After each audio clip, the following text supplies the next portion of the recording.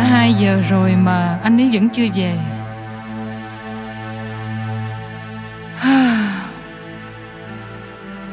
Ta đã thức hơn một ngàn đêm như thế này. Để chờ. Chờ chồng. Có ai chịu nổi như ta không? Sức người có hạn. Ta sẽ chờ được bao lâu nữa à,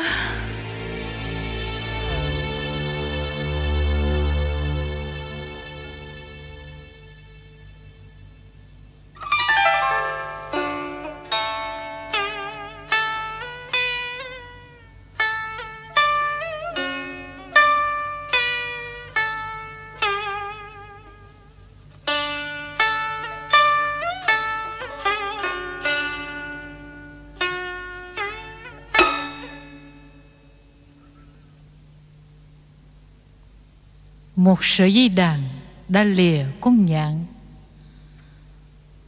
Có lẽ nào ta đã lỗi nhịp say cung?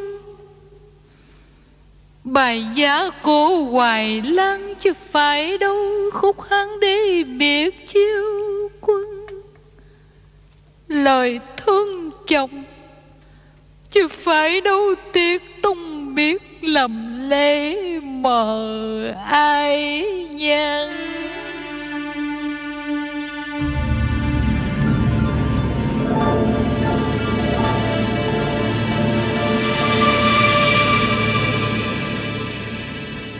Đêm sương lạnh, ta nhớ một thời rực sáng. Nhan sắc này đã từng làm say đắm kẻ đa tình. Ánh mắt này đã từng làm đổ nước nghiêng thành. Nhưng cũng có lúc đôi tay này dũng kiếm trên mình Giói chém tương giặc.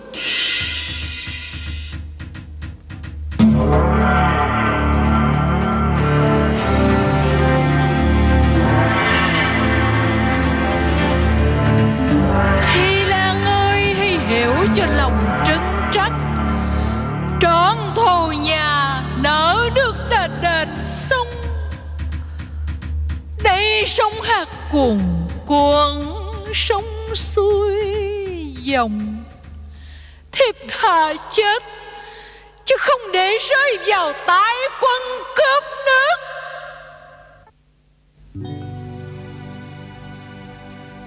Đừng uống nữa. Anh ngăn tôi hay là ngăn mấy cô gái nhảy ở trong vũ trường Ở đây là nhà. Cô không phải là gái nhảy. Còn anh anh là kỹ sư, Là phó giám đốc công ty. Sao anh không tới lui những nơi đứng đắn có lợi cho việc kinh doanh Mà lại chọn cuộc sống ở vũ trường? Cặp bồ với ca sĩ nhà hàng làm thú vui xác thịt. Đã bao nhiêu lần tôi gian xin anh anh rời xa nơi ấy. Anh vẫn làm ngơ. Anh hãy dừng lại đi. Cuộc sống và sự nghiệp của anh không phải là những nơi ấy, Không phải là các cô gái ăn ngủ với anh. Giận hơn là sống với cô. Cô nên biết, Đây là nhà tôi chứ không phải rạp hát Không phải là cái nơi để cho cô nhớ lại một thời vàng son trên sân khấu. Đã vậy, Cô còn bỏ không ít thời gian để viết kịch bản.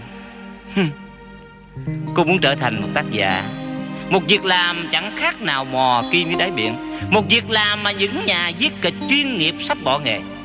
Vì họ không sống nổi với những đồng tiền bản quyền rẻ mạt. Những việc tôi đang làm dù chưa thành công Nhưng vẫn giúp tâm hồn tôi thanh thản hơn những đêm trắc tán của anh kìa. Cô đừng nóng kịch. Đừng đem đạo đức giả đối với tôi. Cô thừa biết. Cô là là là là Tôi biết. Anh bỏ tôi đi chạy theo mấy cô ca sĩ trẻ. Anh Thành Anh nhớ lại đi Hồi anh mới gặp tôi anh bảo là Là tôi yêu cô Yêu một cô đào cải lương. Yêu si mê mỗi khi cô sắp tuồng.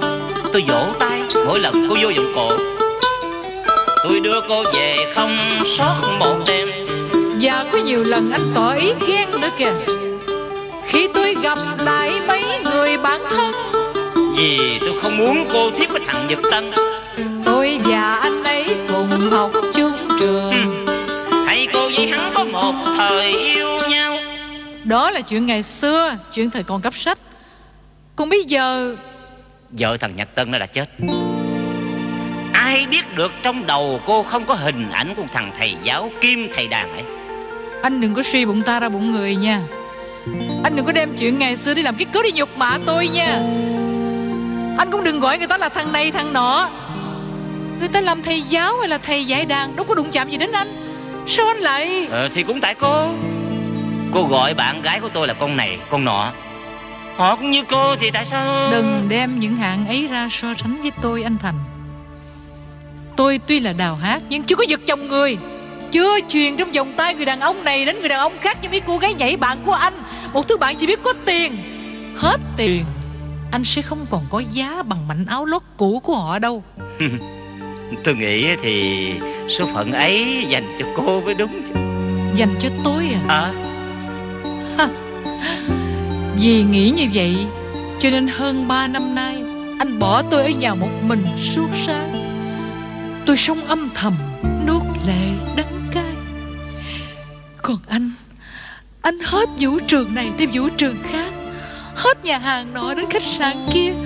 Anh dung tiền vào túi các cô gái lẳng lơ Để đón nhận những nụ hôn giả dối, Những lúc má tựa vai kề tạm bỡ khi sai Mỗi người đều có cái thú tiêu khiển riêng.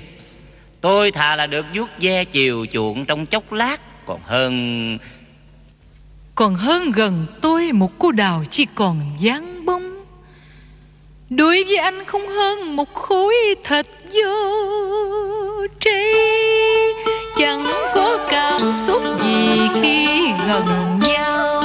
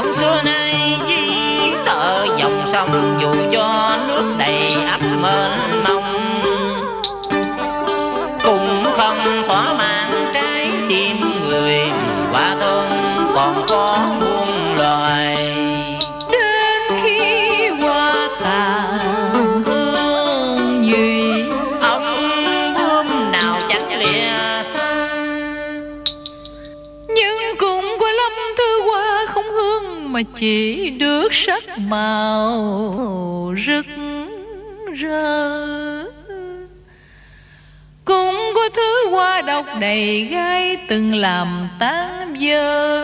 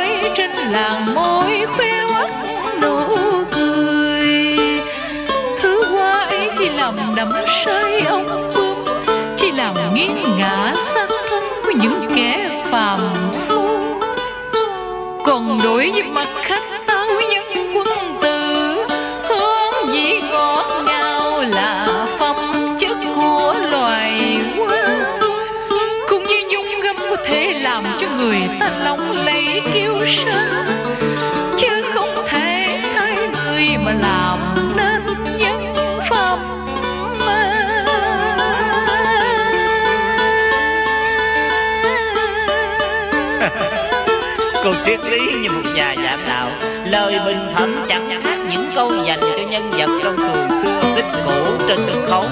Mà cô đã thuộc lào như loài vẹt Nói nữa đi. Tôi muốn nghe thứ hương đêm. Thứ mà cô cho là giả hương Là tên của cô đó. Nói đi.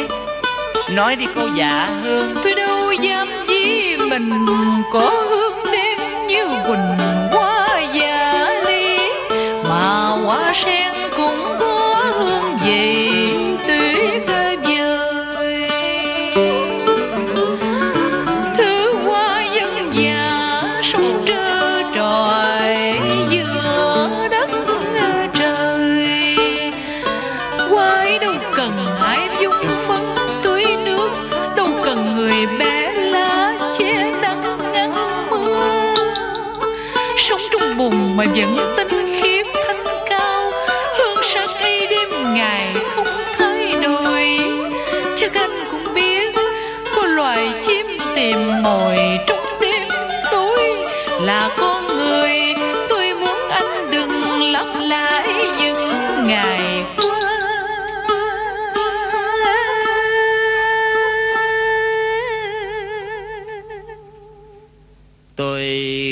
nói với cô điều ấy Nhưng tôi không thể nào sống nổi trong căn nhà này. À mà không Tôi không thể sống chung với cô mới đúng.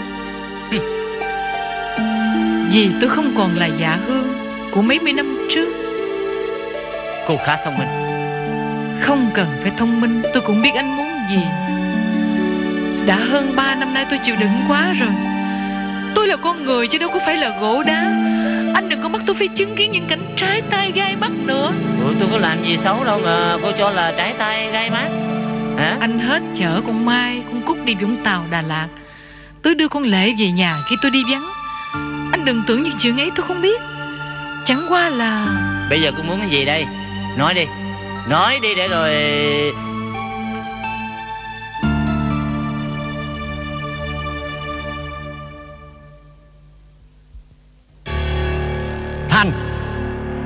Mày có biết bây giờ là 2 giờ sáng rồi không?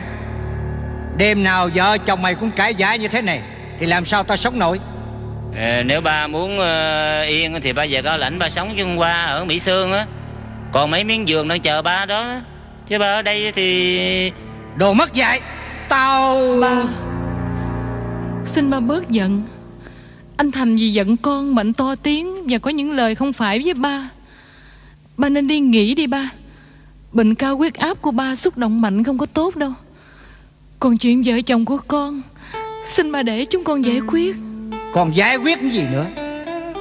Đối với ba mà nó nói năng như vậy Thì với con nó còn coi ra cái gì? Thật ba không ngờ Nuôi con khôn lớn để giờ này Tại ba ba nói ở đây ba sống nổi chứ. Tao nói không sống nổi ở đây. Là vì sự thay đổi của mày. Mấy năm nay mày liêu lỏng chơi bời Thật uổng công tao lo cho mày ăn học. Đến già rồi mà tính nết vẫn như xưa. Sống như vậy sao mày không biết dùng Tôi gần trọn một đời khổ cực. Để có sự nghiệp này giờ mới được thành thời Còn vợ của mày góp công khó nhọc. Sao mày lại đem lòng phủ bạc? Không lo cửa nhà lại đi chơi bờ cát tán vũ trường đến quán bia ôm Đó là để cho tôi quay khóa tâm hồn. Chứ sống trong nhà này chẳng khác là nhà lao. Vẫn hơn những nơi đêm đêm anh bước chân vào. Đó mới là gốc thù đang mở cửa đón chờ anh. Thành ơi Đường nhục dinh gần 60 năm dài Ba đã bao lần từng trải là con người phải khác hơn cây lao cây sậy Đừng để đời ta xa ngã theo thế sự thăng ờ, trăm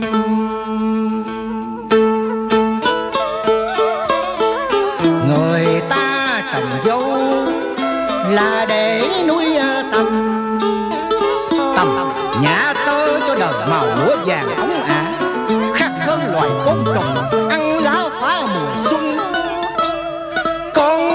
giờ sống cánh giàu sang sao không nghĩ lại một đời ba vất vả Người ta vượt qua cuộc đời nghèo khổ Đâu phải để sống xa qua Rồi tự làm mà sụp đổ gia đình.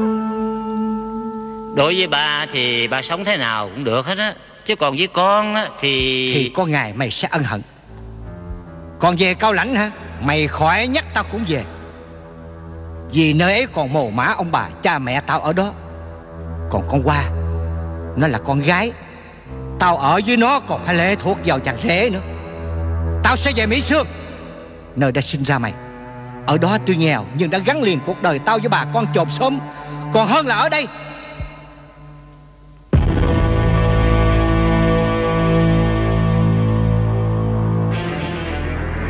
Để con đưa ba lên lầu nghỉ. Cô ở lại đây. Tôi muốn đêm nay mọi chuyện phải được dứt khoát. Dứt khoát à? Phải. Đây là tờ đơn tôi viết sẵn. Cô ký. Đơn gì? Sao lại phải cần đến chữ ký của tôi? Đơn ly hôn. Ly hôn à? Để chúng ta được tự do theo sở thích. Thành Mày không được làm như vậy. Hương Con đừng nghe lời của nó Cô suy nghĩ kỹ. Ký hay không là tùy cô quyết định Đừng lệ thuộc vào người khác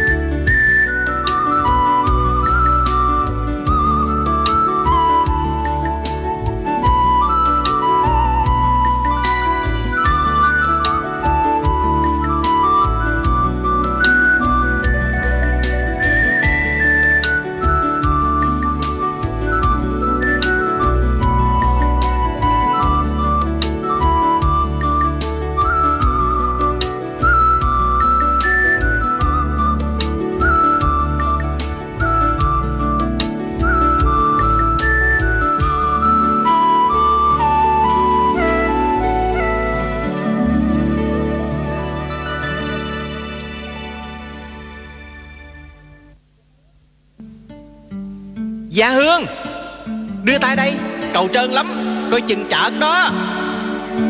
Anh Tân Sao anh? Tôi đi dạy về Gần tới bến đò Thấy ai giống dạ Hương qua đò như hồi còn đi học. Tôi lẹ chân đến đây đó Không ngờ là dạ Hương thật. Anh còn nhớ cô học trò ngày cũ? Tôi làm sao quên được cô gái có ba chữ T? Trần Thị Tuyết.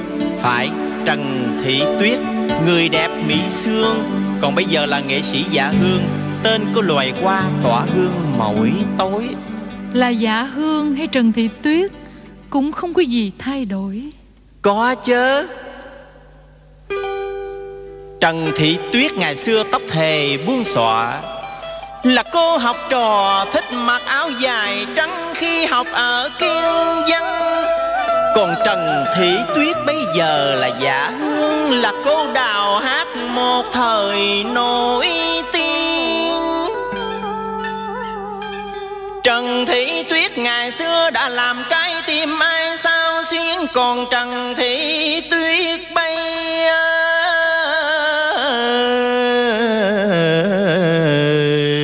giờ là vợ của một kỹ sư.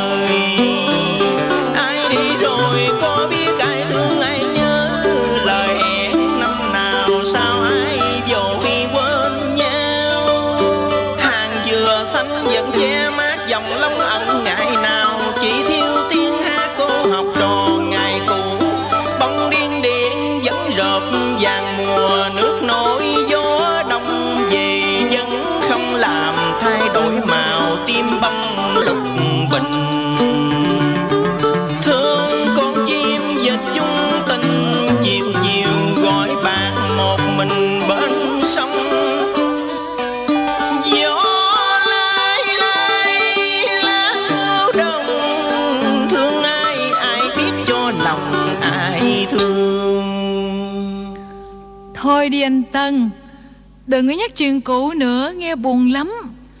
Tôi về lần này là để thăm Bắc Năm rồi vài hôm dạ Hương sẽ trở lại Sài Gòn.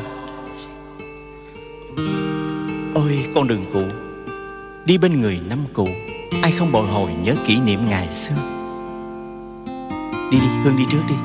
Tôi muốn được đi sau để nhìn lại làng tóc ai bay bay như những chiều lộng gió năm nào. Mời Hương.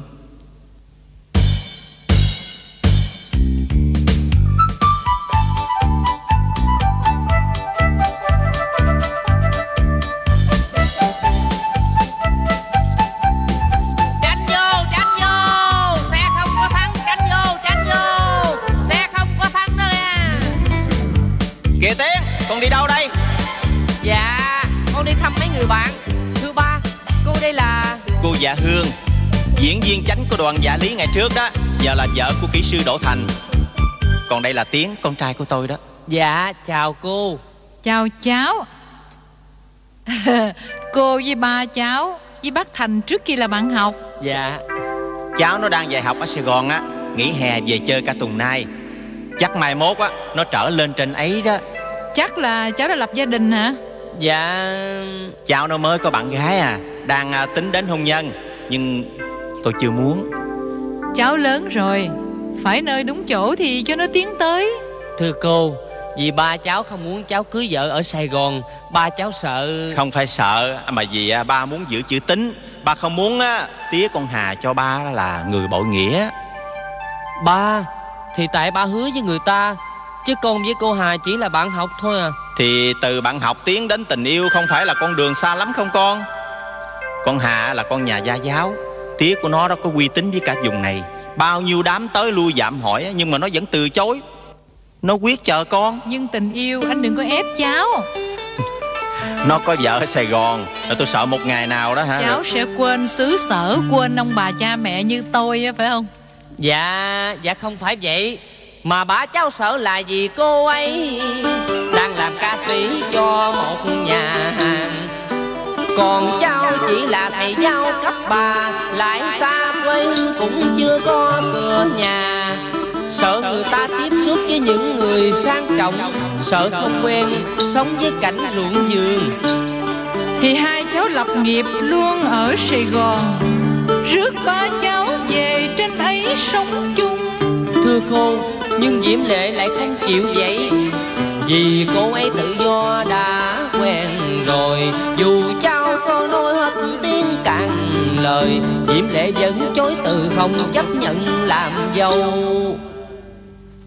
Diễm Lệ? Dạ. Tại sao cũng là Diễm Lệ? Cô Cô vừa nói Diễm Lệ nào? Có phải cô cũng quen với cô ấy? Ờ không. Cô không quen. Không biết. Không quen. Nhưng sao cô xúc động Khi nghe cháu nhắc đến cô ấy vậy? Vì bất ngờ nghe cháu nhắc tới cái tên Diễm Lệ Khiến cô Cô bàng hoàng nhớ đến người bạn thân đã mất. Còn Diễm Lệ là ca sĩ của nhà hàng á Thì cô Ờ Cô không quen. Dạ Xin lỗi cô Vì cháu vô tình chạm đến vết thương của cô. Tên trùng tên Có gì mà dạ Hương phải xúc động như vậy? Chuyện của tôi Anh và cháu Tiến không cần phải bận tâm Thôi Cháu hãy đi thăm các bạn đi. Lên trên ấy khi nào rảnh ghé thăm cô và bác Thành nha. Còn với này mai mốt ghé nhà cô. Cô cháu mình sẽ có dịp trò chuyện nhiều hơn nữa. À, Đây nè. Địa chỉ và số điện thoại Cô gửi cho cháu á. Cảm ơn cô. Nhất định cháu sẽ đến. Thưa ba con đi. Thưa cô con đi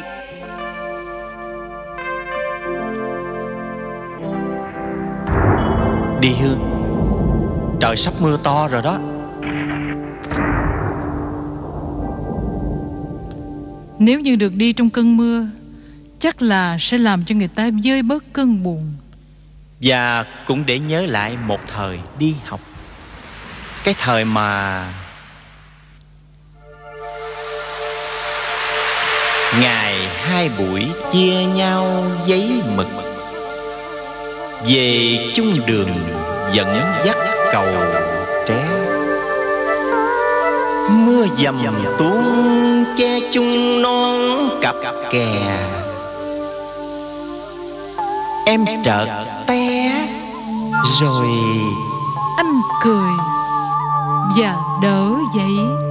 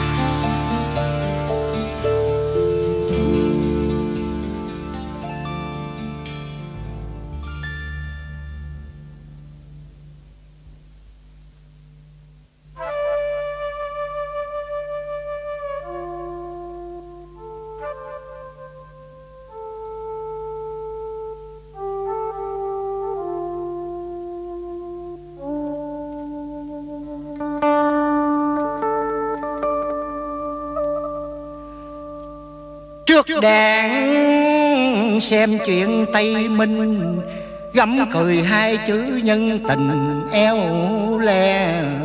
Ai ai lặng lặng mà nghe Giữ răng việc trước lành về thân sau. Trai thì Ông hai ơi Mấy đoạn đó ông hai ngâm rồi. Bây giờ tới đoạn ông quán gì đó. Ông hai quên rồi sao ông hai?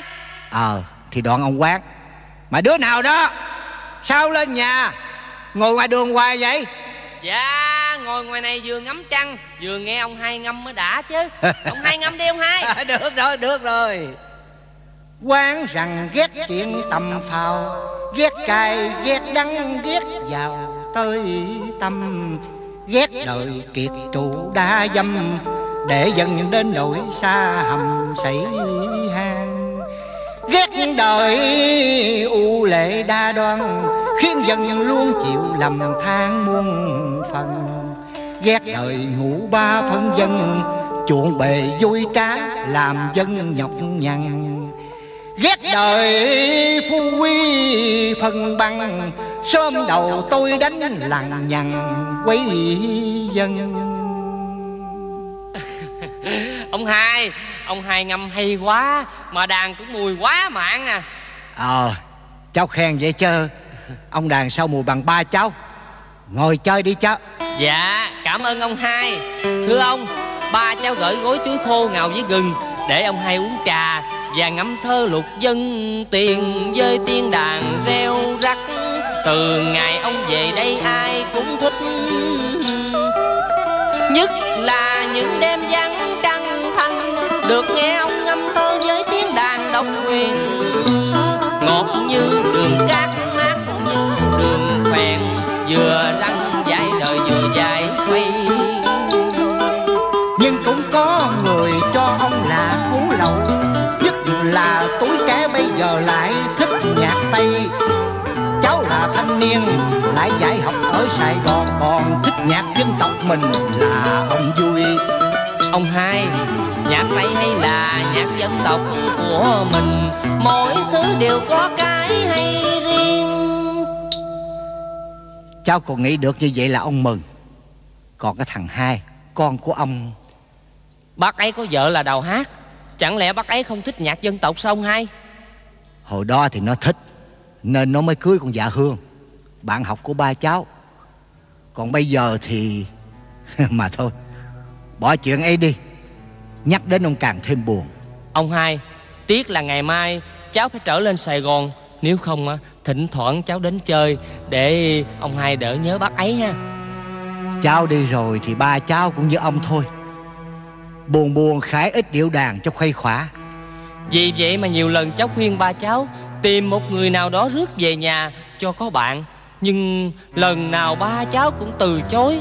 Ông hai à Hình như ngoài má cháu Ba cháu còn thương một người nào khác nữa đó ông hai.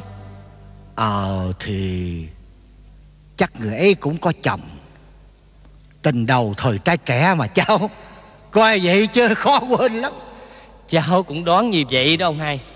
Còn cháu Đã lớn rồi sao chưa tính chuyện lập gia đình? Bà cháu cũng cần có dâu để chăm sóc việc nhà việc cửa. Cháu cũng đang tính đó chứ Nhưng ba cháu không chịu. Sao lại không? Được rồi Để hôm nào rảnh Ông sẽ sang bên ấy Nói với ba cháu chuyện này. Nhưng người cháu đang để ý Con của ông bà nào? Ở xóm dưới hay xóm trên? Hay mấy xã kế bên? Mà ở đâu ông cũng quen. Dạ cô ấy tên là Lệ. Ba con chưa biết mặt. Nhà ở quận tư á Đẹp lắm ông hai ơi. Ở đâu không cần biết miệng người ấy đàng hoàng. Nhưng ba cháu lại muốn phải cưới vợ ở xứ này. Vừa biết gốc gác mẹ cha Vừa gần gũi xuôi gia để sớm hôm lại qua Ở đâu thì cũng vậy Gần nhau thêm mỏi miệng. Cái chính là thương nhau xa mà tốt thì sao? Dạ cháu cũng nghĩ như ông hai vậy đó. Nhưng ba cháu á, Được rồi Chuyện ấy để ông thử một lần thuyết phục ba cháu. Ông hy vọng ba cháu sẽ suy nghĩ lại. Ông hai Cháu xin cảm ơn ông hai trước. Thưa ông hai cháu về. Ờ cháu đi mạnh giỏi nha. Dạ. À mà nè Dạ. Lên trên đây rang chi thú làm ăn Để dành tiền cưới vợ Giúp ba cháu khi già yếu. Đừng có liêu lỏng đua đòi. Dễ hư lắm nghe cháu. Dạ Con xin hứa với ông hai. Ờ.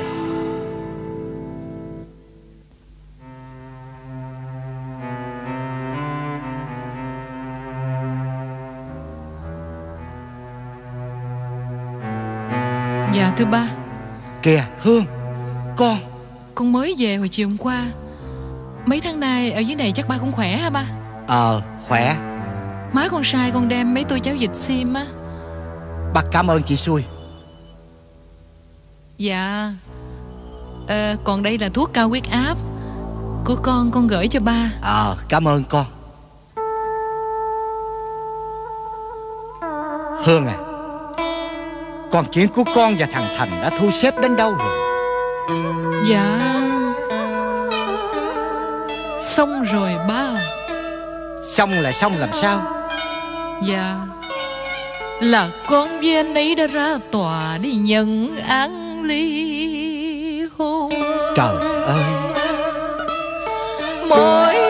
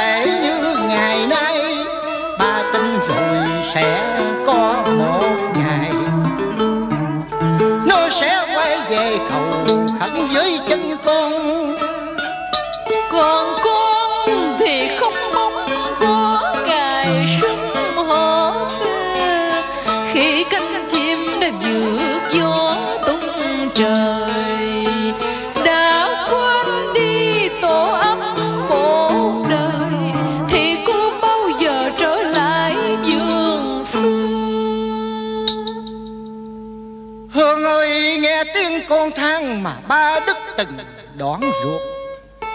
Ba là cha mà Mà ba không dạy được con à, mình.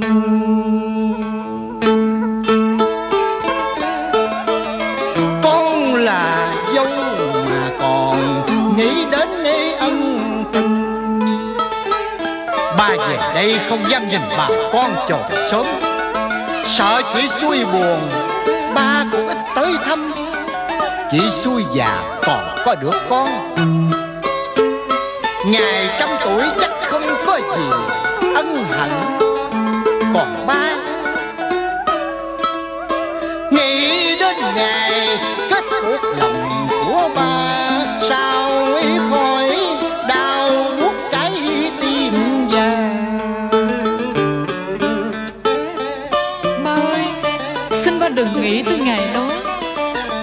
còn là vợ của anh Thành Nhưng con vẫn là dâu của ba suốt đời mà. Đứa con dâu mà ba đứng ra cưới hỏi. Ba Chính vì lẽ ấy càng làm cho ba xấu hổ. Ba Nếu mỗi đời người đều có số phận đắng cay gắn liền với cuộc sống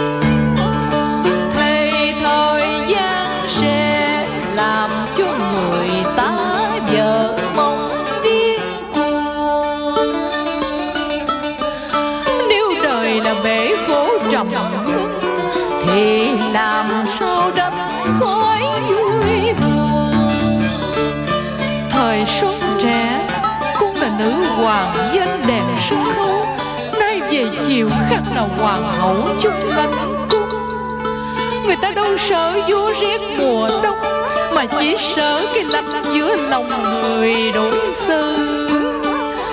Ba thương cô Đau làm người cũng phải giữ. Đó là nghĩa nhân là đạo lý muôn đời. Thôi, con về. Khuya rồi, ba cần nghỉ sớm. Dạ Bao giờ nghỉ? Con dọn dẹp hết mấy thứ này rồi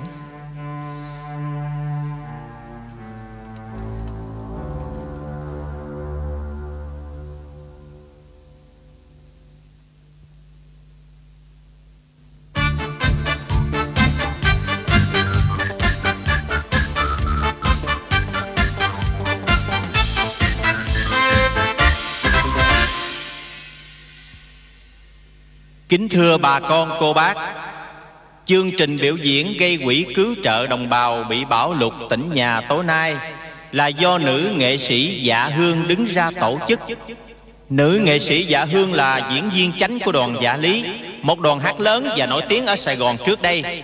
Nhân dịp về quê thăm nhà, Nữ nghệ sĩ cùng nhóm tài tử của ông Đinh Quang Hiếu Phối hợp diễn dở cải lương Thoại Khanh Châu Tuấn. Do Dạ Hương sáng tác Vai Thoại Khanh sẽ do chính tác giả đảm nhận. Vai Lão Mẫu sẽ do Dạ Lan, Thân mẫu của nghệ sĩ Dạ Hương. Bà từng là diễn viên chánh của đoàn Thanh Thinh Cách đây bốn chục năm thủ diễn. Vai Châu Tuấn, Vì không có ai đảm nhận Nên Nhật Tân, tức là tôi, Xin mạng phép được múa rìu qua mắt thở trong vai này. Phần đệm đàn gồm có các ông Chính Mậu đàn guitar Tám bé đàn kìm Sáu im đàn tranh Hai phát đàn độc quyền Và ba giác thổi sáo.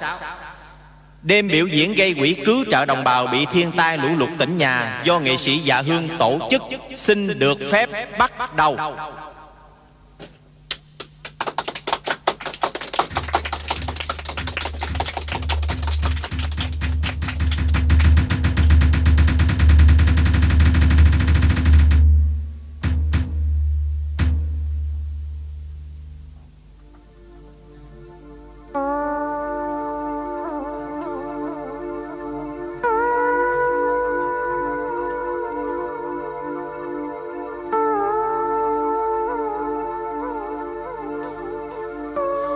Thân nam tử một lòng vì xã tắc, Đấng trưởng phu ra sức giữ sang hà.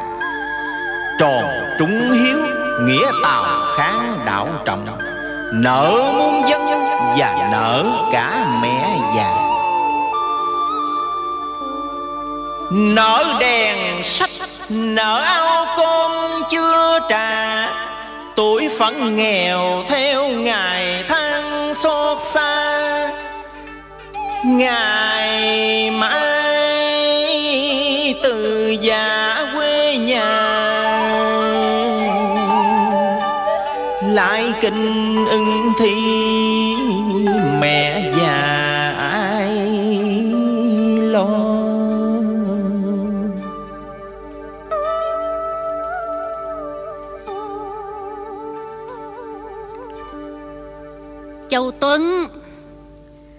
Ngày mai con về Trường An ứng thí. Nhà mình nghèo, Mẹ chỉ còn lại chiếc áo của cha con. Con hãy giữ để che thân. Đường xa sương gió, Con sẽ thấy tình cha con trong đó. Áo thay người sưởi âm thuở hàng di Áo sẽ cùng con vào tận trường thi. Áo sẽ giúp con thêm phần tỉnh táo. Cha mất rồi, Mẹ thương cha giữ áo. Giữ áo của cha Như mẹ giữ cả tâm lòng. Mẹ ơi, mẹ cần có áo để đắp ấm những đêm đông. Hơi của cha trong áo sẽ làm mẹ bất lành những năm dài thương nhớ. Lần thi này con quyết đề bản hộ Để trả công mẹ cực khổ mấy mươi năm. Nhưng đi rồi lấy ai sang giếng tôi thăm? Việc nặng nhọc ai đỡ đần, ai lo cơm chao? Lo cho mẹ Đã có dâu hiền hiếu thảo, Thoại Khanh sẽ thay con gánh vác việc trong nhà. Mẹ chỉ khuyên con, Khi được giọng lỏng găm qua Đừng tối mắt vì công hầu khanh tướng, Mà hãy nhớ nơi quê nhà Có mẹ già đang mong đời Có người vợ nghèo chờ chồng suốt những năm canh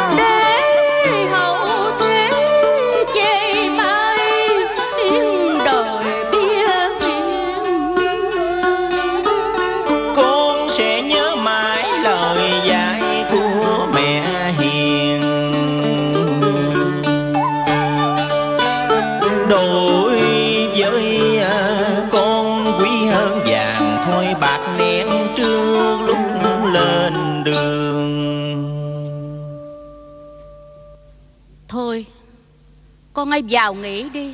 Mai còn đi sớm. Mẹ vào nghỉ trước đi. Con muốn gặp Thoại Khanh mẹ à.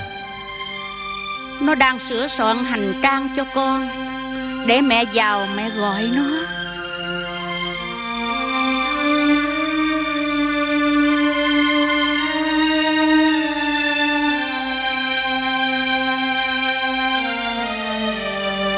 Châu Lan. Thoại Khanh Ngày mai ta lên trường an ứng thí, Nàng hãy thay ta chăm sóc mẹ già. Ơn ơn của nàng. Sao chàng nói với thiếp chuyện ơn, Chuyện nghĩa? Mẹ của chàng cũng là mẹ của chúng ta. Được phụng dưỡng mẹ, Đó là bổn phận của Thoại Khanh. Chàng hãy tin thiếp, Hãy yên lòng lo bề ứng thí. Ngày mai đây nếu công toại danh thành, Xin nhớ thiếp và mẹ già nơi quê nghèo mong đợi. Đây. Ít tiền thiếp dành dụm. Chàng hãy giữ lấy đi phòng thân. Đường xa sương gió và hiểm trở. Chàng băng sông vượt suối Ráng dưỡng sức giữ mình nghe. Nàng ở lại cũng bảo toàn thân liệu yêu Thoại Khanh Tại sao nàng cắt mái tóc dài ông ạ? À? Tại sao nàng làm như vậy? Tại sao Châu Lan ơi tại vì thiếp thương chàng.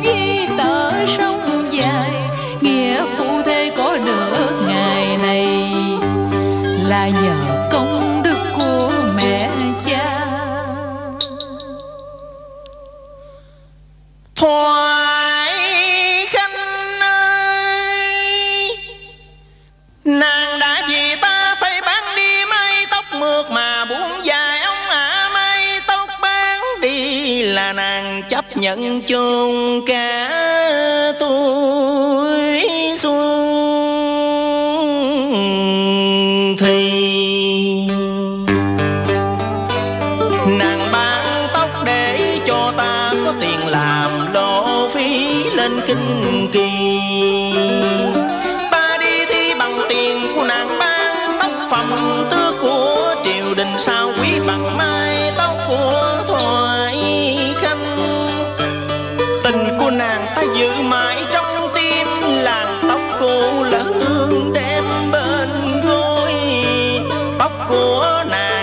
sợ tơ hồng cột mối là anh trăng dẫn lối khách chung tình.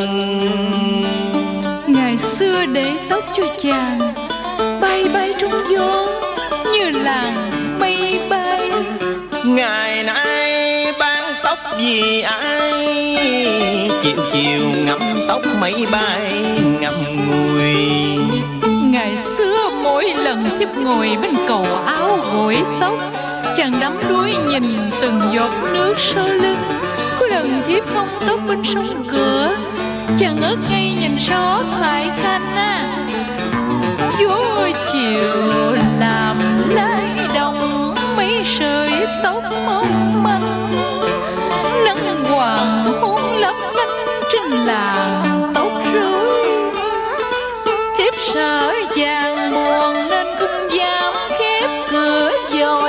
Đợi trăng lên thiếp mới bơi lại đầu. Rồi từ ấy mình lại quen nhau Chàng thương thiếp cưới thoại khanh về làm vợ mây tóc ngày xưa buộc chúng ta nên duyên nợ, Nay nếu không vì chàng thiếp đâu nỡ bán tóc ngày xưa.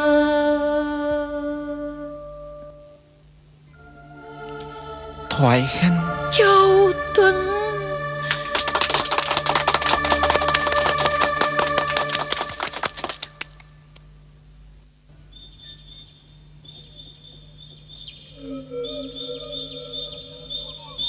Ôi rừng xanh núi thẳm tư bề Chim kêu dưỡng hô Biệt về nơi đâu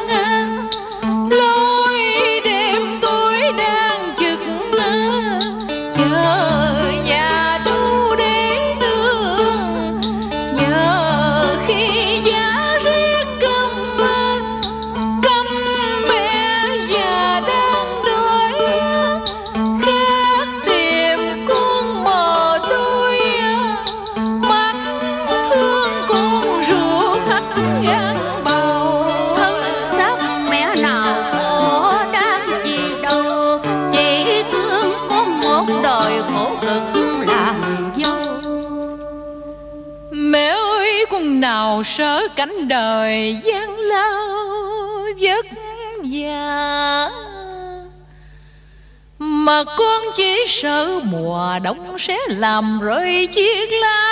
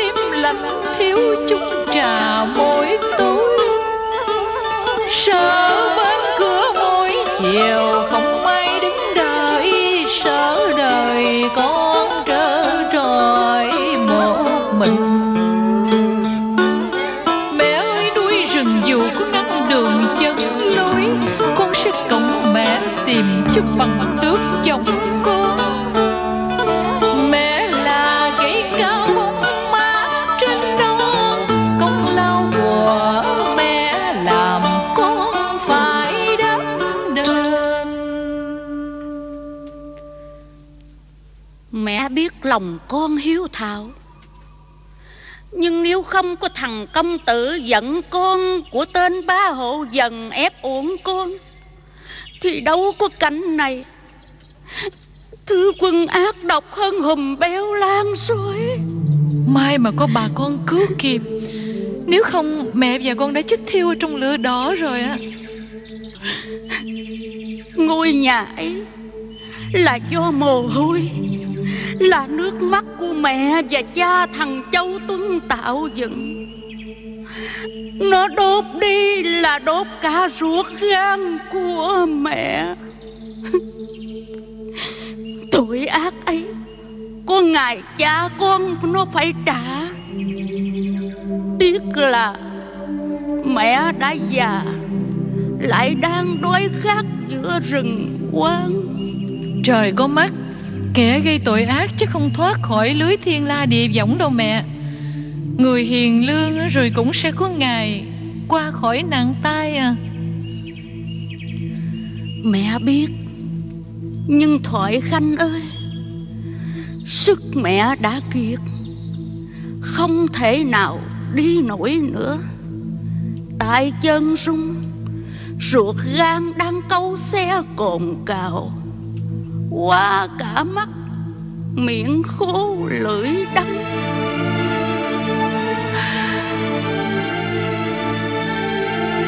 Mẹ hãy nằm đây. Con đi tìm xin thức ăn về cho mẹ. À, Mẹ hãy mặc áo này cho đỡ lạnh. Mẹ ráng chờ con Con sẽ về ngay. Thương con mẹ đừng có đi đâu nghe mẹ. Vì chung quanh mẹ là đồi cao Là vực thẳm không à. Thoại Khanh à Trời lạnh lắm. Con hãy giữ áo này để mặc. Mẹ già rồi Chịu lạnh đã quen rồi. Nè con Thoại Khanh Thoại Khanh. Con đi rồi sao hỡi Thoại Khanh? Trời ơi.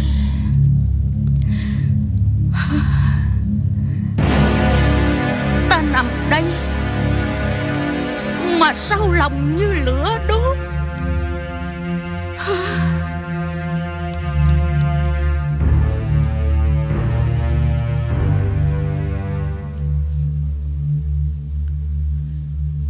Giữa núi rừng không có một người lai vãng. Khắp bốn bề chẳng thấy nóc nhà ai. Tìm đâu ra thức ăn cho mẹ chiều nay. Con đôi lạ người đang chờ ta trở lại. Chu Lan ơi Cánh tay này cùng chàng chung chăn gối. Vì mẹ già tiếp cắt thịt giữa rừng quang. Vì mẫu thân thì phụng dưỡng mẹ thai chàng. Thịt của thiếp sẽ giúp mẹ già qua cơn đói lạ. À,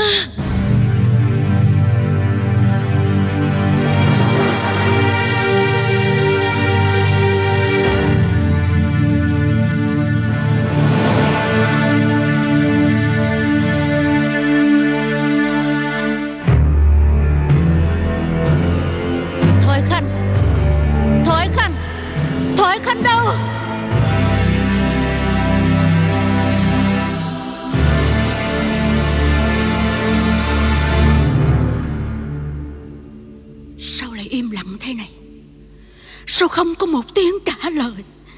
Sao không có ai trả lời hết vậy? Không. Không. Ta thấy rõ Thoại Khanh đang chập chờn bên ánh lửa giữa đêm đen. Lửa. Lửa biến thành máu một dùng, Máu của Thoại Khanh trong ánh lửa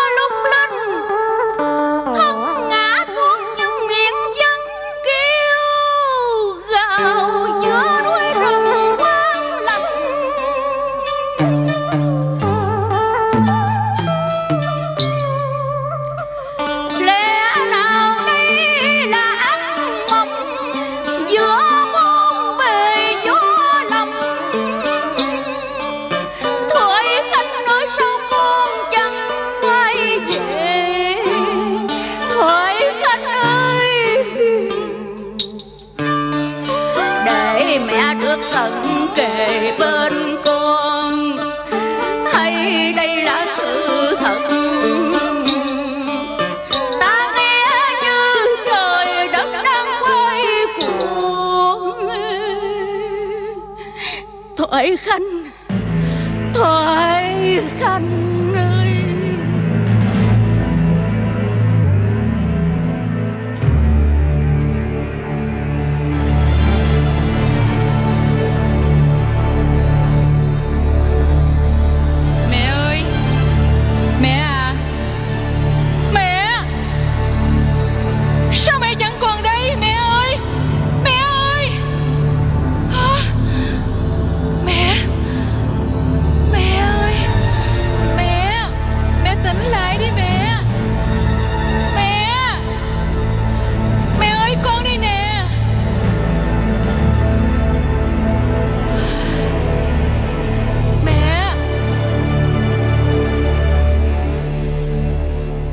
Thoại Khanh.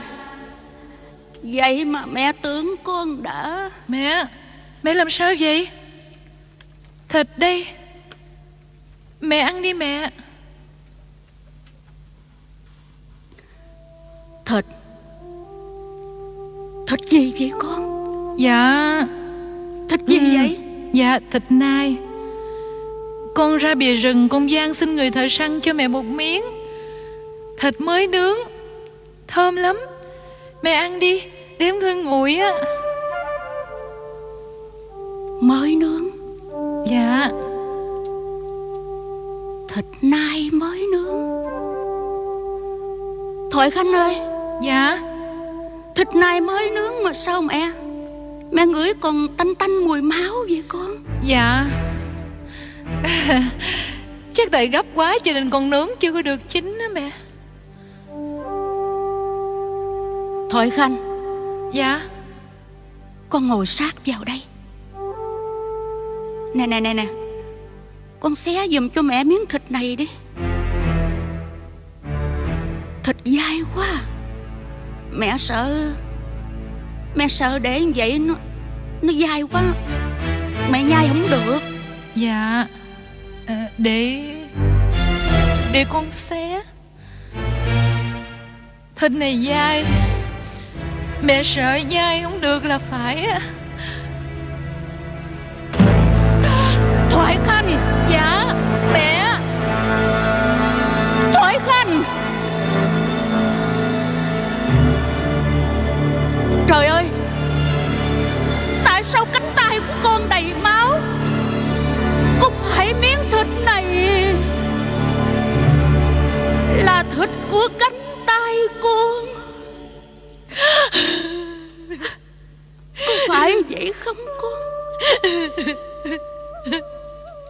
sao con khóc thôi Khanh ơi?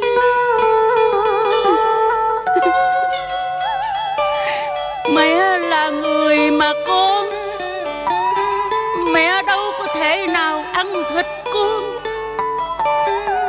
Thôi Khanh ơi, Sao con lại làm như vậy? Con đưa tay đây để mẹ buộc lại vết thương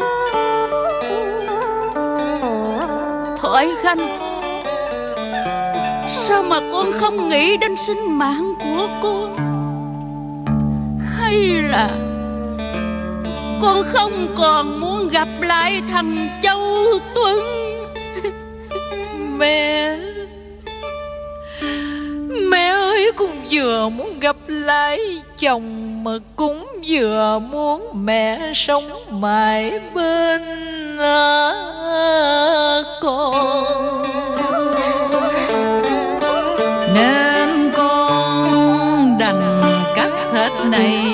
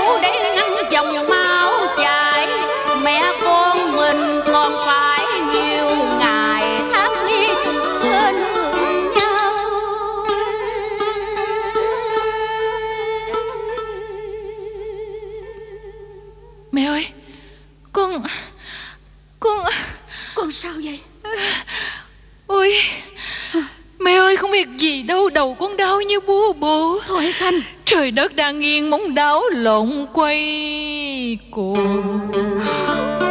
Tôi chi rủ riệt, giữa sấm chớp mơ nguồn Mắt con không còn nhìn thấy núi rừng à, tay gian rền như đất lở trời.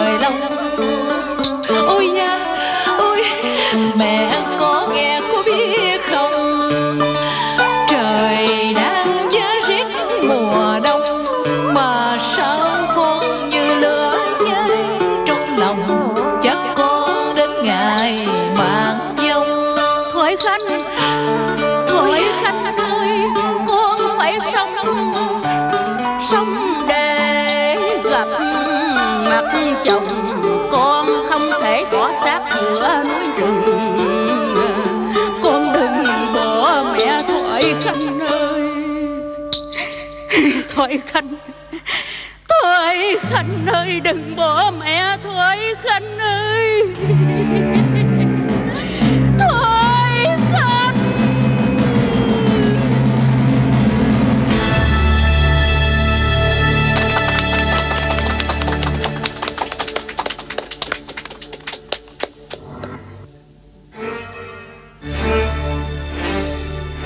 Dạ Hương. Dạ Hương. Đêm diễn đã hết. Cô làm sao vậy?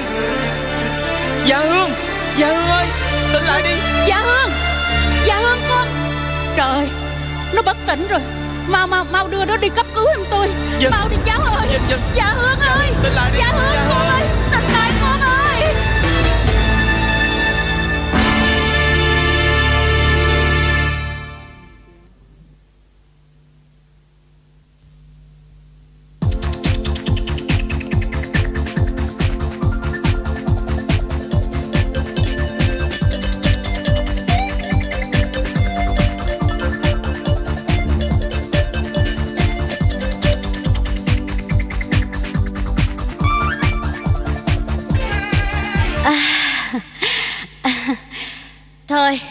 Mình mệt lắm rồi.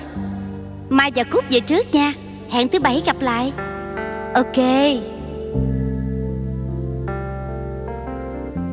Cái gì mà buồn dữ vậy?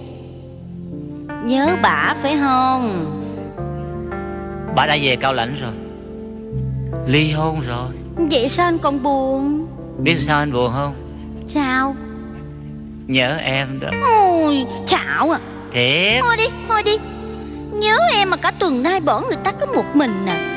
Em buồn và nhớ anh muốn Anh chết kẹt lo à. cho công ty. Hôm nay tạm xong việc rồi. Em ở lại đây với anh. Anh sẽ bù. Bù cái gì? Hử? Em ở lại đây là để Để mình được tự do sau những ngày xa dân Em sẽ là nàng tiên nằm gọn trong vòng tay anh. Em sẽ nghe từng nhịp đập con tim Sẽ sao xuyên trong từng hơi thở? Lệ ơi em phải là của anh Tất cả em phải là thái chân là lướt trong khúc nghe thương. Thiệt không cho đường minh hoàng đâm sai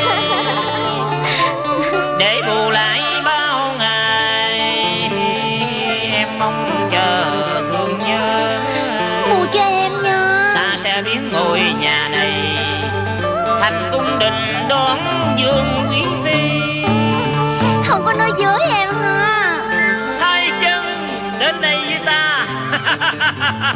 Hai chân. Đường Minh Hoàng Đây là Quỳnh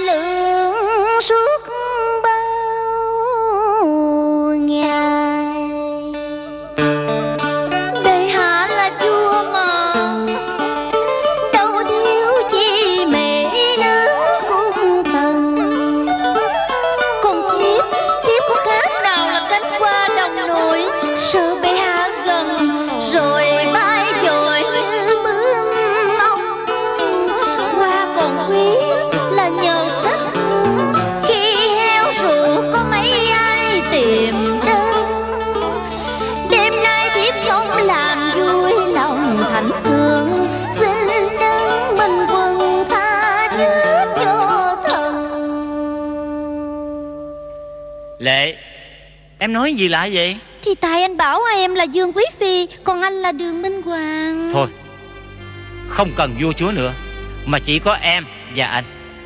Đêm nay Đêm nay đêm nay Lần nào gặp nhau anh cũng chỉ nói có đêm nay.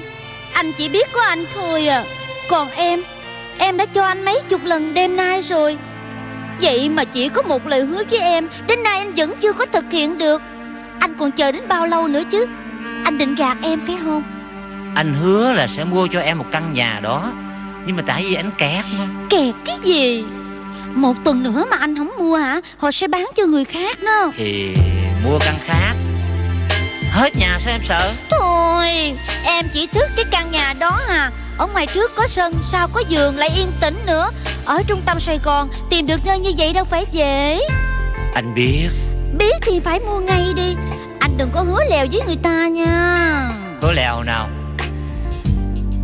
Năm ngoái mua cho em căn nhà ở quận tư rồi. Nhà đó là anh tặng cho gia đình em chứ bộ. Và lại sống chung với gia đình còn bị lệ thuộc nhiều thứ lắm. Em chỉ muốn sống riêng thôi Vừa được tự do Và vừa là tổ ấm của chúng mình nữa. Anh nhớ không? Anh đã đồng ý và hứa nội trong năm nay mua cho em mà. Ừ Thì anh nhớ. Nhưng mà công ty của anh đang gặp khó khăn. Còn nợ cả chục tỷ ở ngân hàng chưa trả nè. Ngân hàng đã gửi giấy báo mấy lần Nhưng đến nay thì chưa có thanh toán. Trời ơi Cả một công ty nợ có 10 tỷ mà ăn nhầm cái gì? Thì mỗi người bỏ thêm một ít Trả chậm chịu lời. Khi nào công ty làm ăn được sẽ thanh toán sòng phẳng.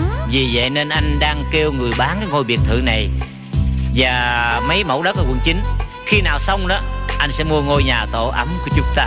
Bao lâu nữa Rồi còn bà vợ của anh ấy thì sao? Chậm lắm là vài tháng. Tiền bán nhà và đất sẽ chia đôi. Đâu có được Chia ba chứ Bỏ phần em sao? Ừ, Thì em lấy hết phần của anh cũng được mà. À, Mà không à Phải bỏ vô công ty trả nợ ngân hàng. Phần còn lại của anh á Anh sẽ giao hết cho em. Người đẹp đáng giá ngàn vàng. Chịu chưa? Chịu Nếu như anh giữ đúng lời. Anh à Bây giờ em là của anh rồi đó.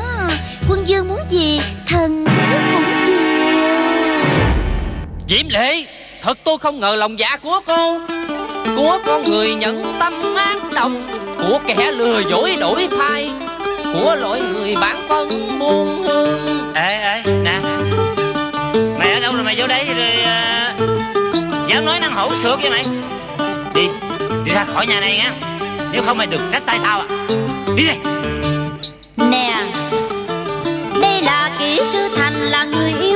Lệ mấy năm nay. Anh xông vô nhà lại có cử chỉ của một người sai. Nhờ sai nên tôi mới đến đây Để bắt quả tang hai người phản bội. Chồng buộc vợ ly hôn Còn cô, cô mất hết lương tâm. Nè Tôi nói cho anh biết Tội xúc phạm đến người khác á là Người ấy chính là cô. Ông hai. Ông là ai Rồi cô sẽ biết. Các người muốn gì? Muốn cô phải chấm dứt. Chuyện đi cướp giật chồng người. Có tốt đẹp gì thứ hạng gái lẳng lơ. Đừng có dở giọng cầu cao với mọi người. Ba Ba ơi đây là Diễm Lệ Người yêu của con xin ba chớ lớn tiếng nặng lời. Con với dạ Hương đã ly hôn rồi bác. Thì không ai có quyền ngăn cấm được con yêu. Nhưng con Hương nó đang lâm Mà nguyên nhân là vì nó quá mày. Tao lên đây là cốt để báo tin này Không ngờ gặp mày dẫn gái về đây? Ông hai Diễm Lệ đây là cô gái Mà con đã nói với ông đêm nào? Diễm Lệ là ca sĩ nhà hàng nhà ở quận tư. Con có ngờ đâu giờ lại yêu bác Thành? Nè Tôi với anh mới là tình bạn Mà bạn thì không ai bắt ai phải theo mình tình Còn không tiếc lời sĩ giả miệt khinh. Còn ngang nhiên sống vô nhà đã gây sự. Nè Tội ấy pháp luật sẽ nghiêm trị. Thành ơi mày có biết đây là thằng Nhật Tiến Nó dạy học trên này là con của Nhật Tân. Cha của nó là bạn học của mày. Cùng chung làng chung xóm với nhau. Mày làm như vậy thì tao còn mặt mũi nào? Mang tấm thân già này về xứ Mỹ Sương Nhưng mà ba có biết đâu Trước đây dạ hương với ba cái thằng Tiến á Là là là, là... Đó là ngày xưa. Ngày tụi nó còn đi học. Còn thằng Tiến bây giờ Không phải người tôi yêu như anh ấy đã nói. À, Anh Thành à Những gì anh đã nói với em anh nhớ nha. Còn bây giờ em về à. Diễm Lệ Cô hãy ở lại đây. Chúng ta cần phải dứt khoát. Bác Thành Bác hãy xem bức thư này. Chữ của Diễm Lệ đó Anh Tiến Việc tổ chức lễ đính hôn của mình hãy chậm lại một thời gian. Vì em đang tiến hành việc làm ăn lớn Xong việc mình sẽ có nhà Có tiền. Hạnh phúc của mình là tùy vào lần quyết định này. Yêu anh nhiều Em Diễm Lệ. Anh Thành đừng có đọc nữa Trả những bức thư ấy cho em. Đây là chuyện khác Không có liên quan gì đến anh. Anh hãy tin em đừng có tin Nhật Tiến. Diễm Lệ Tôi nghĩ Nếu người có chút lương tâm và sĩ diện Sẽ không đủ can đảm ở lại đây Để nói thêm những lời trân cháu ấy. Giận hơn anh Một thứ đàn ông tồi. Anh không yêu được tôi rồi anh tìm cách phá. À Anh Thành à Trước sau vậy em vẫn yêu anh mà Em mãi mãi là của anh. Yêu tôi? Dạ. Yêu tôi hay là yêu cái gia sản này Em yêu anh thiệt mà. Tình yêu của em đã dành hứa cho anh rồi. Anh Thành à Anh hãy tin em. Tin em đi mà. Đi. Những lời yêu thương trên đầu môi chót lười. Tôi lầm cô. Làm gì anh mắc lạ lời Vì thân hình khêu gợi Để giờ đây mọi chuyện đã phơi bay.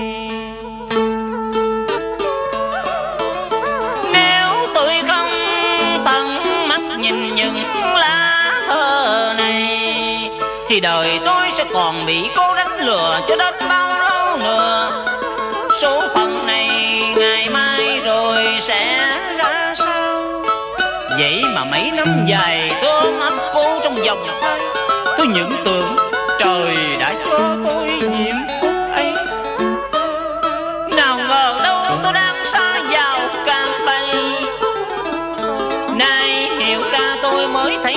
lòng già con người.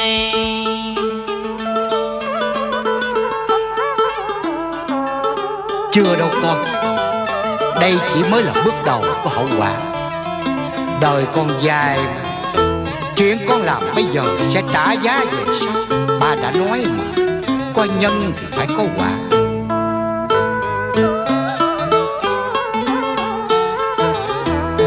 Bác Thành ơi đầu cháu những tưởng Diễm lễ làm ăn đứng đắn Để có nhà cửa khang trang Trước khi cùng cháu lập gia đình.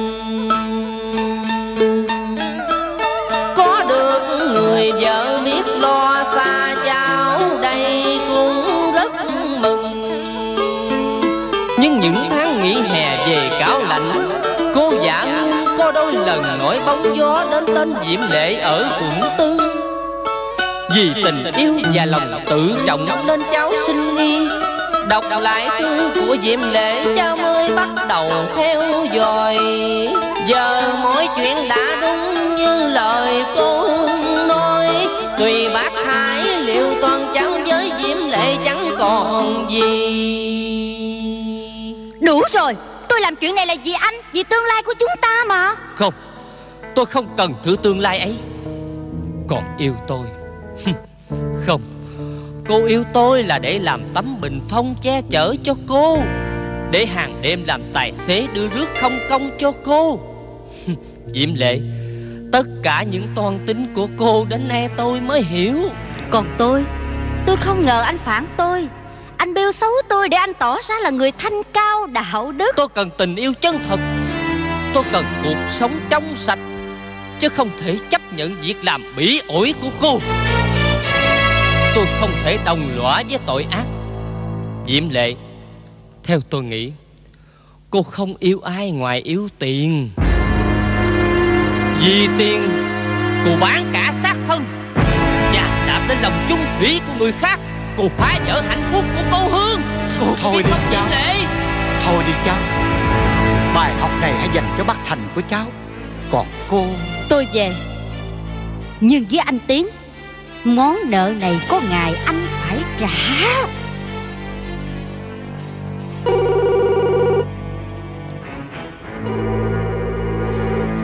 Alo?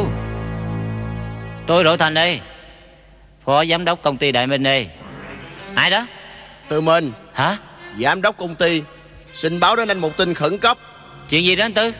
Hồi 16 giờ chiều nay công ty được lệnh ngưng hoạt động đó. Ngưng hoạt động?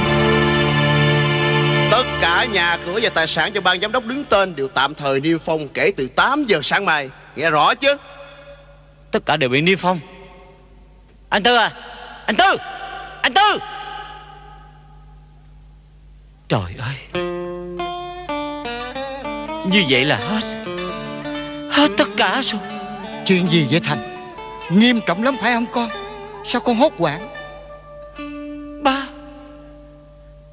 Ba ơi, đây là chuyện của công ty.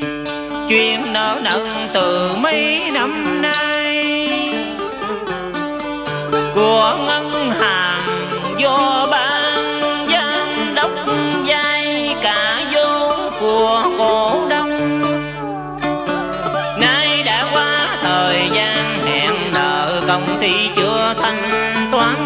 lần nào Hợp đồng các nước cùng chưa vào. Hay là gặp phải công ty mà Làm ăn thua trí người ta. Hay công ty theo kiểu thế chấp lòng vòng Lợi dụng sơ hở của ngân hàng. Tất cả đều do tư minh quyết định Con chỉ là phó của ông ta như vậy là mày đã gửi trứng cho ác. Sạc nghiệp. Vào tù là khỏe lắm rồi Thành ơi Tao vẫn tưởng đời mày còn có ít nhiều kinh nghiệm. Không ngờ mày chỉ biết ăn chơi. Kết quả cuối đời còn lại hai bàn tay trắng. Trời ơi, tao nhục lắm. Tao nhục lắm mà. Trời ơi, trời. Ba Ba.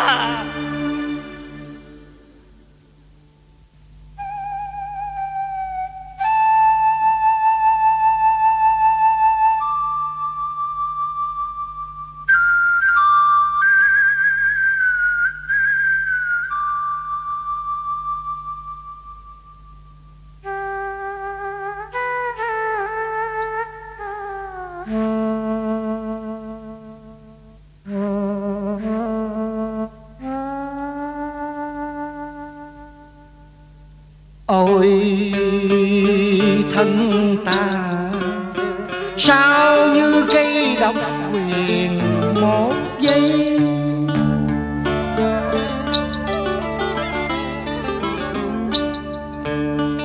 Đàn ta yêu quý dần còn đây. Đôi tay ta sao khải được cung đàn? Còn chăng một xác lòng này đà ơi, có thâu chăng? Cùng quan thương cách ngăn từ đây họ sự họ là sang sẽ công. Như trái tim ôm ấp mơ sầu tay.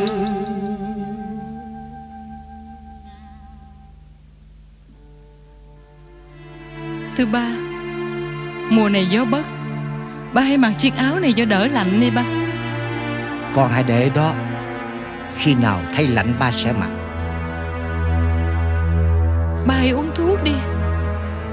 Của anh Tân mua gửi ba đó. Thằng Tân chỉ là người hàng xóm. Từ ngày ba bệnh đến nay Nó thường tới lui thăm viếng Còn thằng Thành chồng con Chắc anh ấy còn phải lo xoay sở chuyện công ty á ba. Còn gì nữa mà say sở? Bán nhà Bán đất để trả nợ. Thoát tội tù đó là mai. Ba chỉ ngại. Thưa ba Ba đừng có nhớ chuyện cũ nữa. Ba hãy yên tâm dưỡng bệnh lúc tuổi già. Hương ơi. Dạ. Tài sản ấy là do con và thằng Thành tạo ra Ba có tiếc cũng không tìm lại được. Bà tiếc đây là tiếc cho cái thân của nó.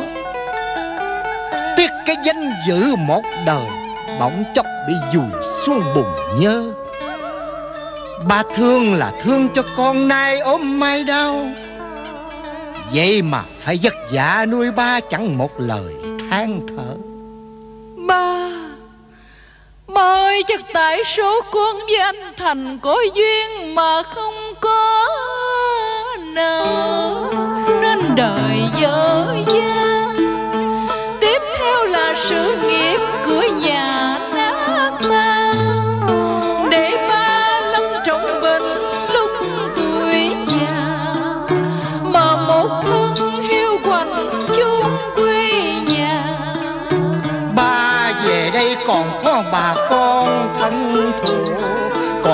ở Sài Gòn. Tư cố vô thân, Có con và thành tâm tới lui kề cận Có chết cũng được nằm gần mồ.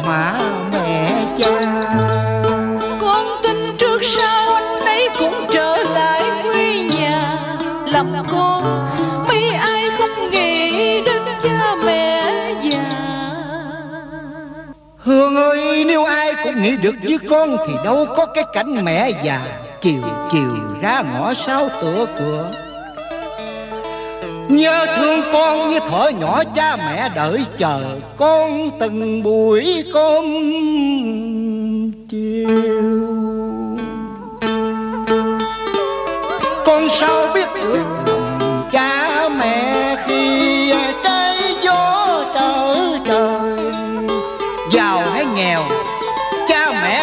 bồng từ thuở nhỏ. Con miên ngon vật lạ, cha mẹ đều nhường nhịn cho con. Vậy mà khi lớn con Con như là chim lìa tổ ấm. Mấy khi quay trở về rừng cũ vườn xưa, Mấy khi nhớ lại một thời giải nắng dầm mưa cha mẹ tần tảo, Sớm hôm nuôi con.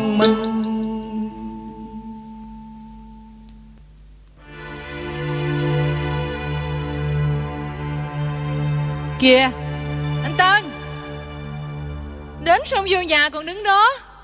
Thằng Tân đó hả? Vô đây cháu. Dạ Mấy hôm nay bác vẫn khỏe chứ? Ờ khỏe. Cháu đem à, cho bác cuốn truyện Kiều. Ờ Con nó đọc cho khuây khỏa. Mà nè Sao lần nào đến đây Gặp con Hương là cháu đều lánh mặt à Dạ Ảnh chê con là gái bị chồng bỏ đó bà ơi. Dạ Hương nói vậy chứ tôi đâu có dám. Thôi Cháu và con Hương ở nhà trò chuyện nha. Bác đi bộ một chút cho nó giãn gân giãn cốt. Nằm hoài bác thấy bực bội quá. Nhân tiện bác ghé chơi với thầy Giác Lâu ngày không gặp cũng nhớ. Chắc bà còn yếu lắm á Hay là bà để con Không sao Đã có cái nạn này. Cháu Tân ở đây chơi nha. Dạ Ba, ba cẩn thận nghe ba. Ờ, à, ba vững mà.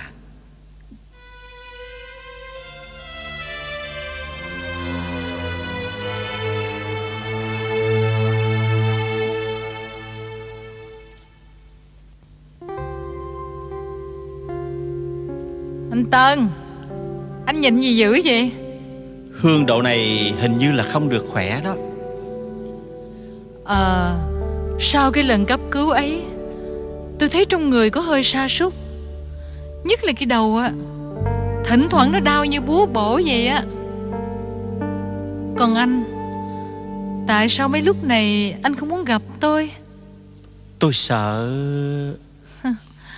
Anh sợ gì? Tôi sợ quê nghèo gửi lên hình ảnh cũ. Sợ con sông buồn lưu luyến bến đò xưa. Sợ mây bay theo gió những chiều mưa.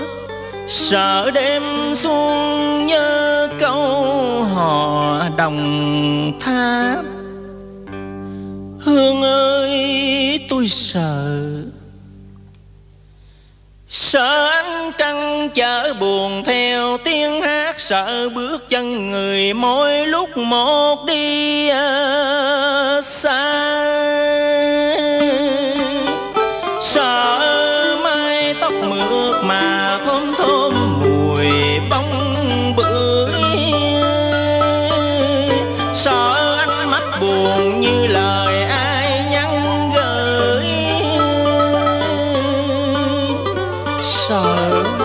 sợ những cái nhìn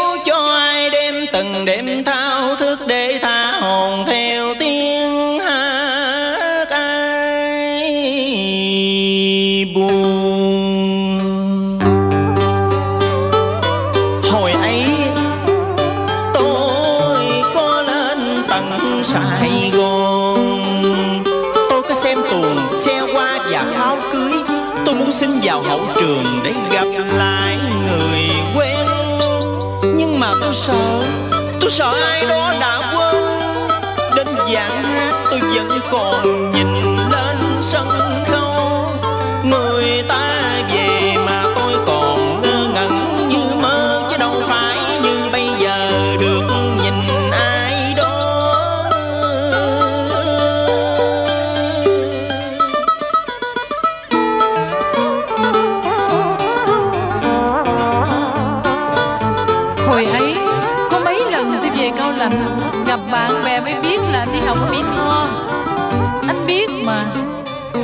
là đào chánh của gánh hát người ta, Nên phải theo họ ra tuốt ngoài miền Trung diễn hơn 6-7 tháng nha. Rồi trở lại Sài Gòn.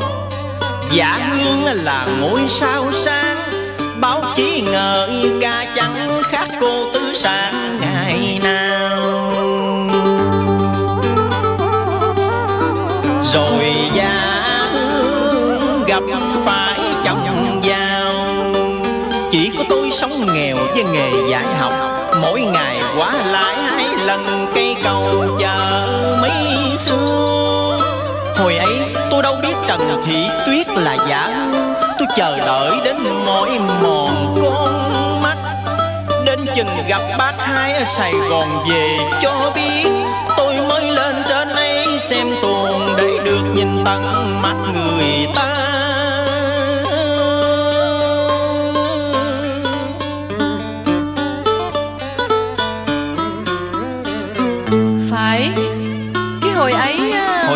Tôi có nói, Thời gian học chỉ 3 năm, Nếu thương nhau hãy chờ ngày ra trường làm đám cưới. Vậy mà Hồi ấy, tôi cũng muốn ở nhà đi học, Nhưng má tôi à, muốn tôi trở thành cô đào hát cái lương. Tôi cũng buồn khi rời khỏi xứ Mỹ xưa ngồi trên tàu xuôi về Sa Đéc. Qua dạm kinh Thái Bình, Tôi nhớ kiến dân một thời cấp sách. Nhìn cồn sấy bồi hồi, nhớ kỷ niệm lúc tan cương Mấy năm dài tôi cũng mong đợi tin anh Khi nghĩ lại, chắc người ta chê mình là đào hát. Vì bận học, chứ đâu phải tôi là người phú bạc chồng rồi. Mấy năm sau tôi mới lập gia đình. Đó là chuyện ngày xưa. Còn bây giờ? Tôi vẫn xem giả hương là bạn. Tôi biết. Nhưng tôi hỏi bây giờ là hỏi chuyện của cháu Tiến kìa. Khó nói quá. Anh đừng có ngại. Anh Thành làm chuyện không phải là phần của anh ấy. Tôi với anh ấy bây giờ coi như người dân nước lã thôi Tội là tội cho cháu Tiến á. Sau lần nó dứt khoát với Diễm Lệ Nó đã nhận cưới con Hà. Nay mai á, nó sẽ về để sang bên ấy cho hai đàn giáp mặt À như vậy là mừng cho anh và cháu Tiến ha. Nhưng mà tôi ờ, cũng đang lo. Anh lo gì nữa?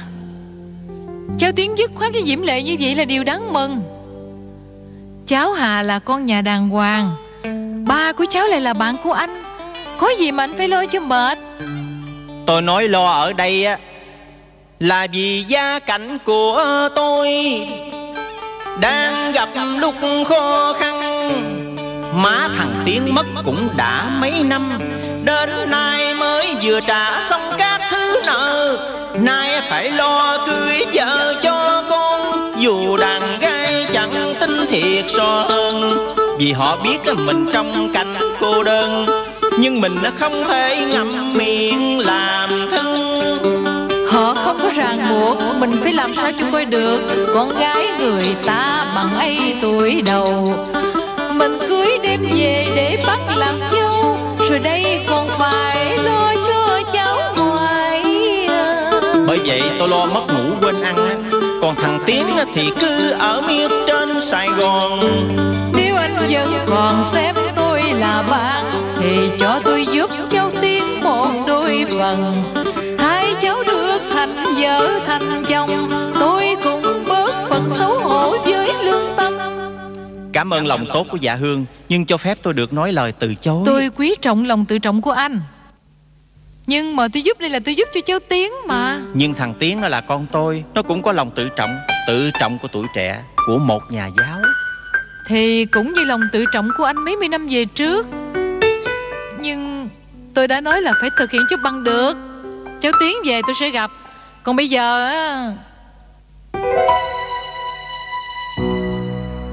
Tôi mới về Chẳng lẽ giả hương định lánh mặt? Ô anh Thành Lâu quá mới gặp lại anh. Tôi cũng về. Anh vẫn khỏe? Cảm ơn khỏe Y như hai người bạn hồi còn đi học à. Nhưng anh Thành á, có cái may mắn hơn tôi á Là được lên Sài Gòn học hành đến nơi đến chốn. Còn tôi chỉ là anh giáo làng. Anh là giáo làng Nhưng mà còn có cái diễm phúc. À, à Ba đâu rồi Hương Đi dạo và đến nhà vài người bạn. Hèn gì. Ở nhà chỉ có hai người. Hình như là anh không hài lòng vì sự có mặt của tôi phải không? Thôi đâu dám Anh và Hương ở dưới này Gần bên nhau. Gặp ở đâu, lúc nào Bao lâu không được. Bạn học cũ. Tôi không thích cái giọng điệu mỉa mai ấy đâu. Tôi không mỉa mai Mà đây là sự thật. Chúng ta cùng là bạn học. Đã hiểu rõ chuyện ngày xưa. Chuyện con đò cũ Chuyện bến dắt đợi người đưa. Chuyện đi về chúng nón chiều mưa. Tôi còn là gì tình cũ người xưa Tôi vẫn tưởng anh là người có nhiều diễm phúc hơn tôi mà. Không ngờ qua sông rồi bỏ mặt con đò trôi Chơi qua rồi lại bé cạnh băng rau. Ai là người gây khổ đau chắc bây giờ đã hiểu nhau. Xin anh đừng lên giọng thanh cao. Tốt đẹp gì mà giặt áo cho người xem lưng. Cô cũng đừng lên giọng với tôi. Cô đừng tưởng tôi về đây là để Xin lỗi. Chuyện có hai người tôi xin phép được vắng mặt. Anh Tân Anh cần phải có mặt. Anh Anh ta đi là phải. Anh ấy không phải là người thấp hèn. Không nhận tâm trà đạp đến sự đau khổ của người khác. Không muốn nghe thêm những chuyện xấu xa. Cô ám chỉ ai? Hả? Tôi nói anh Nói những chuyện làm của anh. Còn cô? Cô thì sao? Tôi trước sau vẫn là gia hương Vẫn là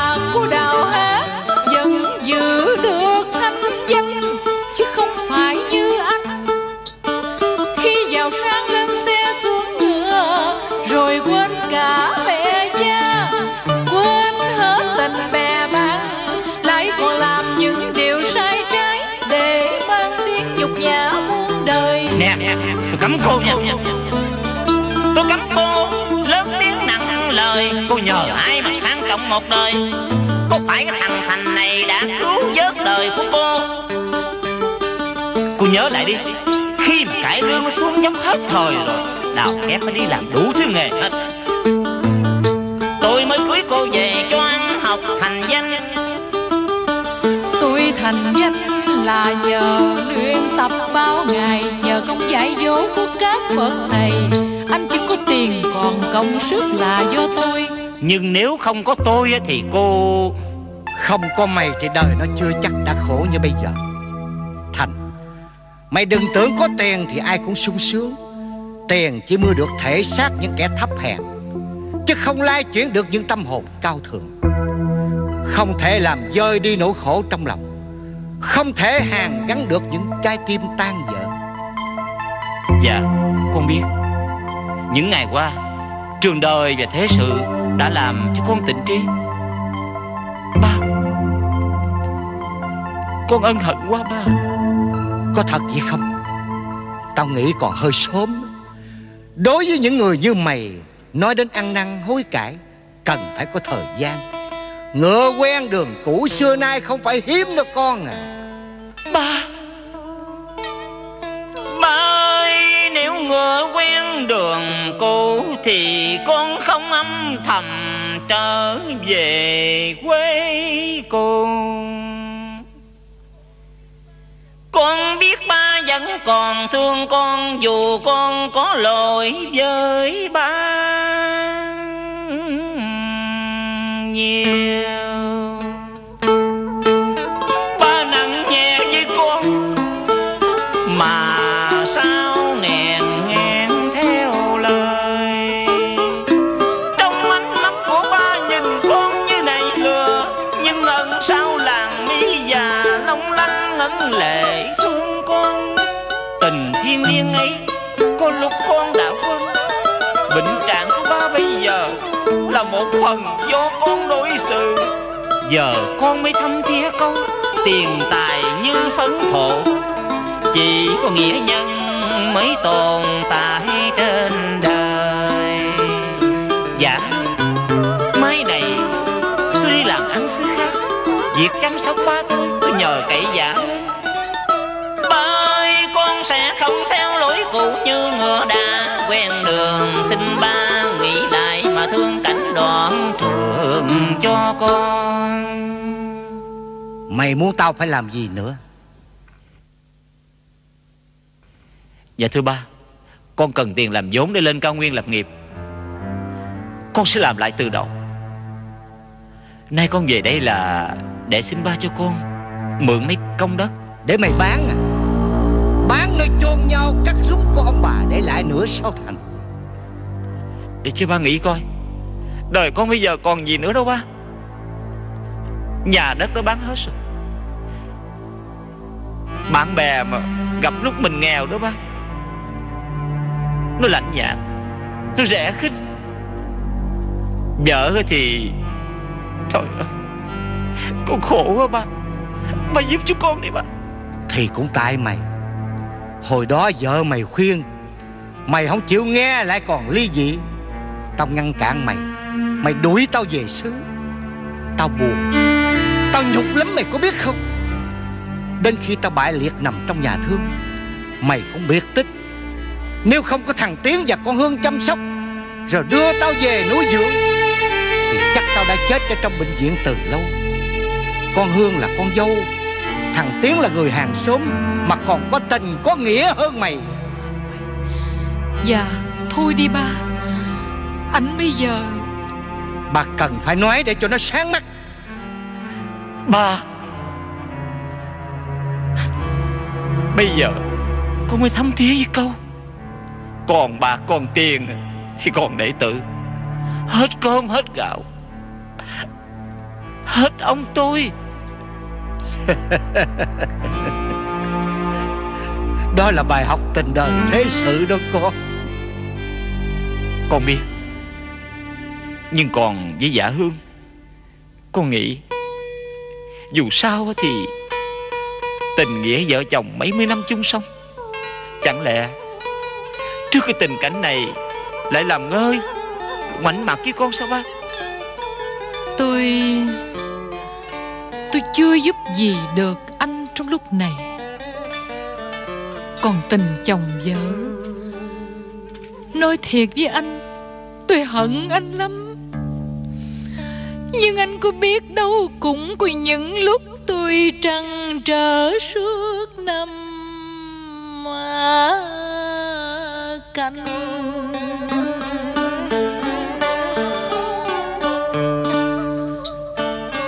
Vì mấy mươi năm tình chồng vợ sống bên nhau, Nào những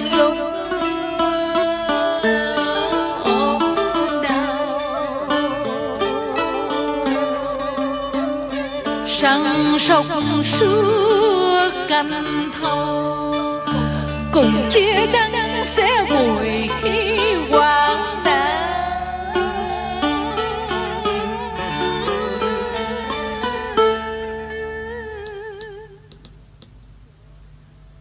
Hương ơi, Xin đừng nhắc đến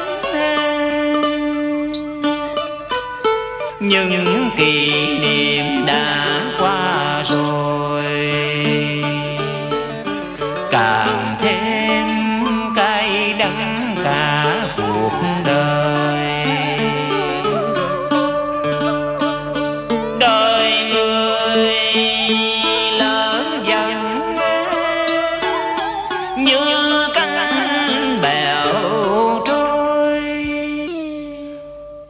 Còn với cánh bèo là khá đó.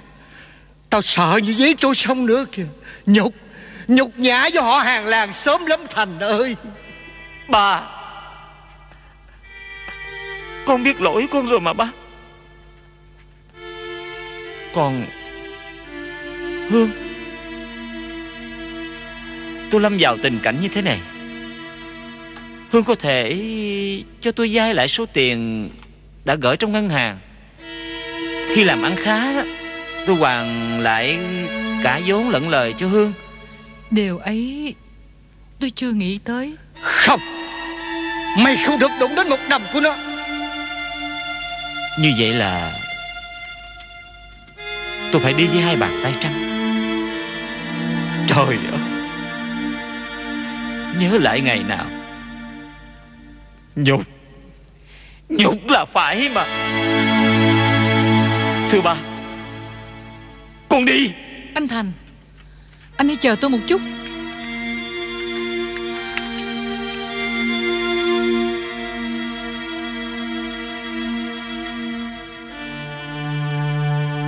Đây Đây là mấy bộ đồ của anh.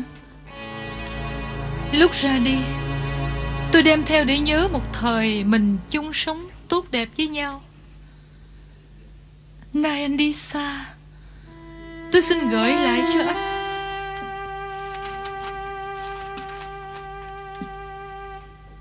Bộ đồ ngày cưới. Bộ màu xám mà Hương đã chọn cho tôi. Còn đây Đây là mấy chiếc nhẫn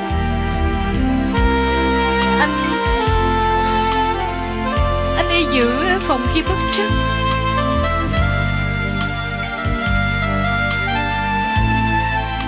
Cảm ơn Hương. Tôi xin nhận lại bộ đồ này thôi Còn nhận Và mấy bộ đồ này, Tôi xin để lại cho Hương. Thưa ba, Con đi. Hương ở lại, Ráng giữ gìn sức khỏe. Và cho tôi gửi lời xin lỗi anh Tân Về lời lẽ và thái độ không phải của tôi vừa rồi. Thành Ba con chút đỉnh. Con cầm lấy đi. Cầm đi con Ba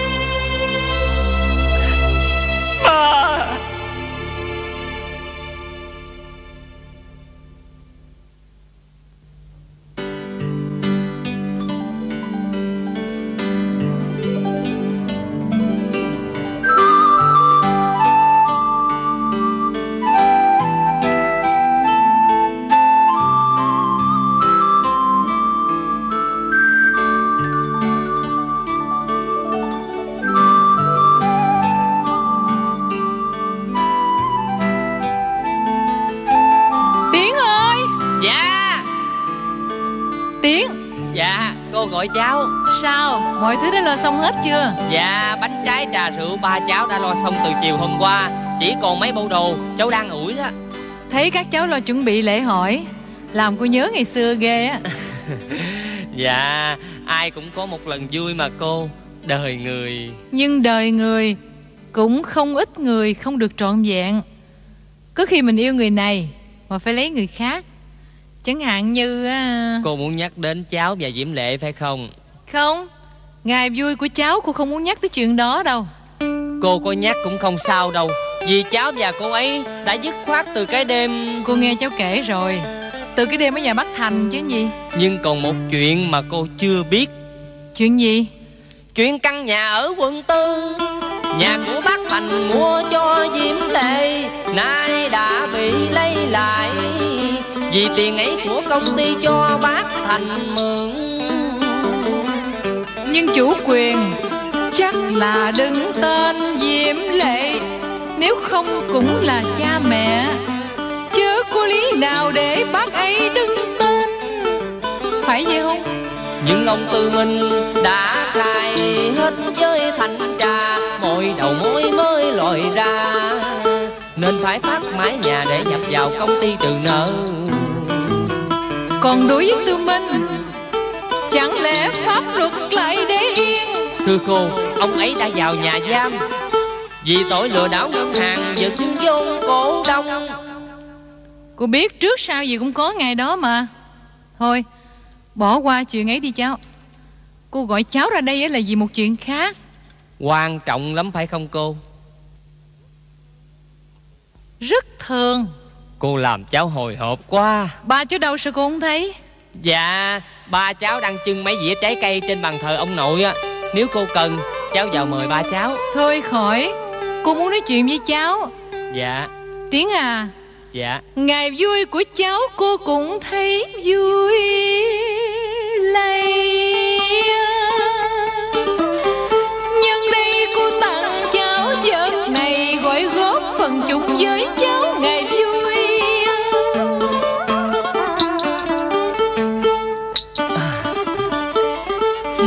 đôi bông tai Một cặp nhẫn hột xoàn Làm cháu thấy bàng hoàng.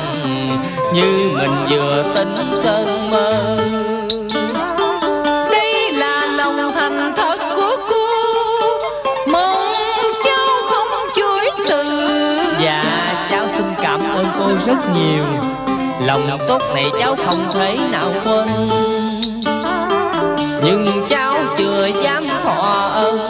anh xin phép được chối từ, Mong cô hiểu lòng này. Chớ không phải phụ lòng cô. Tiếng à Cháu chưa nghĩ dần dơ, Cô còn phân biệt được lòng người. Nhưng cô thấy hơi buồn, Vì lòng của mình bị từ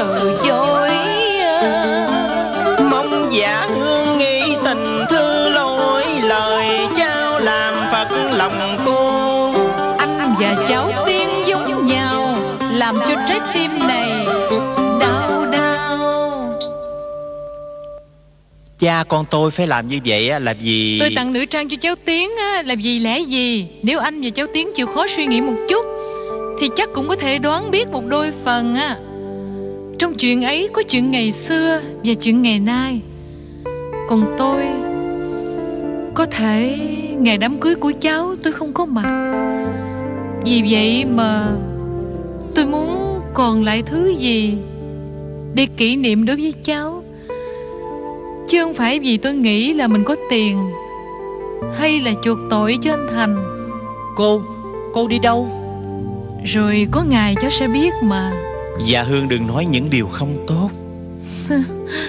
Có ai lại muốn chuyện xấu đến với mình đâu anh. Nhưng Anh Tân Hình như cái giấy xét nghiệm của tôi khi nằm viện Anh giữ phải không? Vì bác sĩ dặn Mà dạ Hương hỏi để làm gì?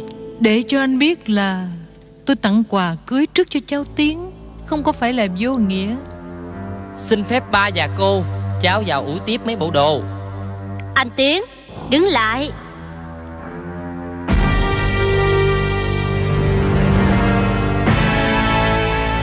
Diễm Lệ. Diễm Lệ.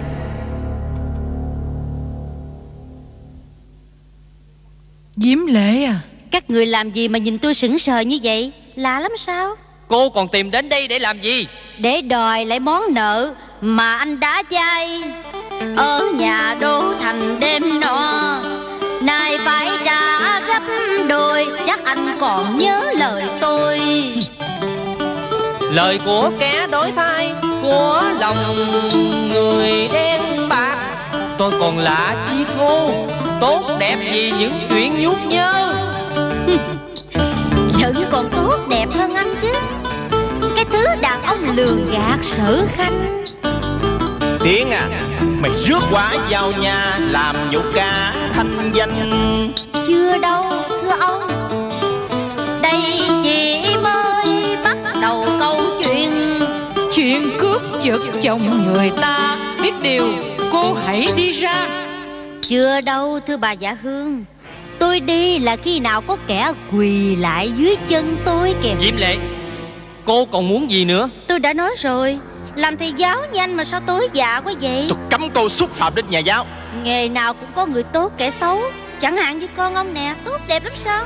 Còn nghề của cô? Cô đã lợi dụng nhan sắc của mình để làm trò tiêu khiển cho kẻ khác. Chính những người như cô đã gây tiếng không tốt đối với chị em trong giới á. Còn chồng bà? Chính những người như chồng bà là kẻ gây ra tội đó Mà thôi Tôi đến đây không phải để tranh luận với bà Mà đối tượng chính của tôi là anh Tiến và cô Hà. Cô vợ sắp cưới của người yêu tôi kìa. Diễm Lệ Nhưng tôi với cô đã dứt khoát. Đó là anh nói. Còn tôi Tôi có đủ các thứ để chứng minh với vợ tương lai anh. Với cha mẹ vợ anh là anh đã lừa dối họ. Cô có biết làm như vậy là ác lắm không? Nếu biết thì con ông đã không làm đối với tôi Tôi tin họ sẽ chẳng tin cô đâu. Mà người họ tin là tôi nè. Tôi sẽ vạch trần tất cả xấu xa của cô Nếu như cô đến gặp họ. Tin hay không Các người nhìn đây sẽ biết. Đây Ảnh của tôi và anh Tiến chụp ở Đà Lạt đó. Diễm Lệ Tôi không ngờ cô. Anh cứ xé đi Chưa hết đâu. Còn kiểu này chụp ban đêm ở bãi biển Vũng Tàu Hấp dẫn hơn nhiều Đến như thế này sao Tiến Đó mới chỉ là những tấm ảnh dạo đầu thôi. Còn đây mới thật là ảnh nhà nghèo chánh hiệu. Chụp tại khách sạn có máy lạnh. Mời mấy người xem qua. Im đi. Hãy im đi tiếng cười độc ác Đang xe nát tim ta. Trời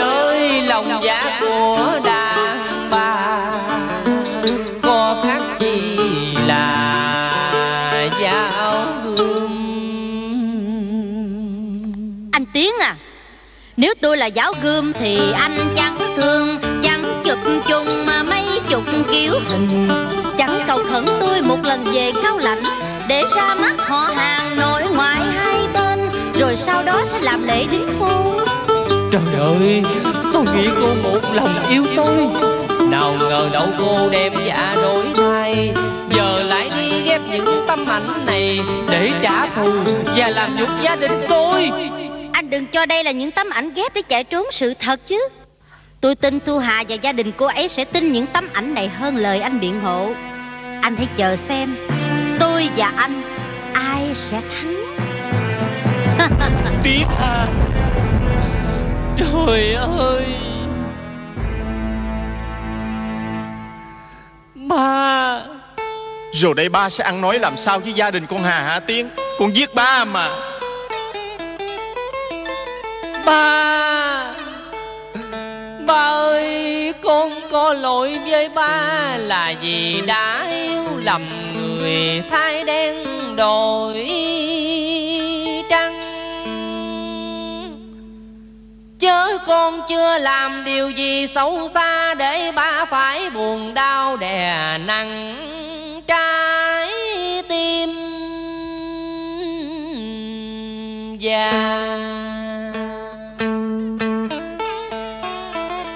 Nếu con lừa dối thì làm sao dám nhìn mặt cô Hà? Con xin ba bớt buồn, bớt giận. Chuyện ghép hình này sẽ chẳng ảnh hưởng đến hôn nhân. Cô Hương ơi, Xin cô khuyên ba cháu một lần. Lời của cháu bây giờ chắc là vô nghĩa.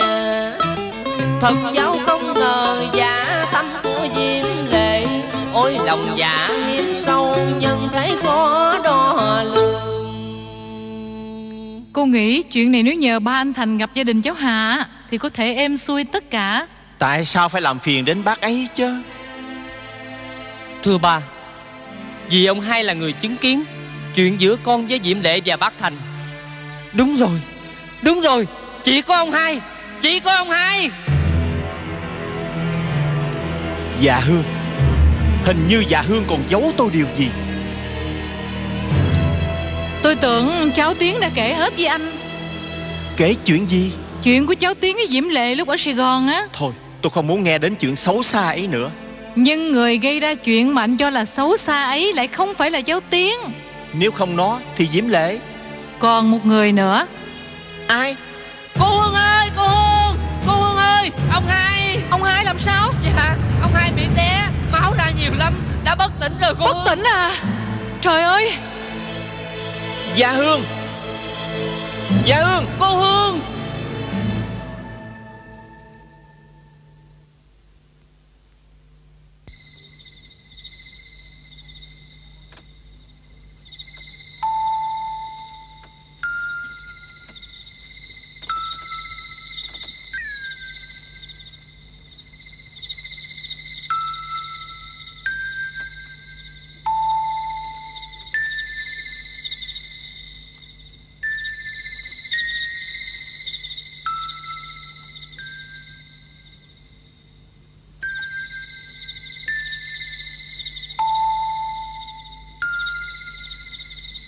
Cái chết quanh liệt của nữ tướng Mùi Thị Xuân. Hay lắm. Dũng cảm lắm. Ôi, người xưa sao mà kiêu hùng đến thế? Vinh quang thay bậc nữ nhi.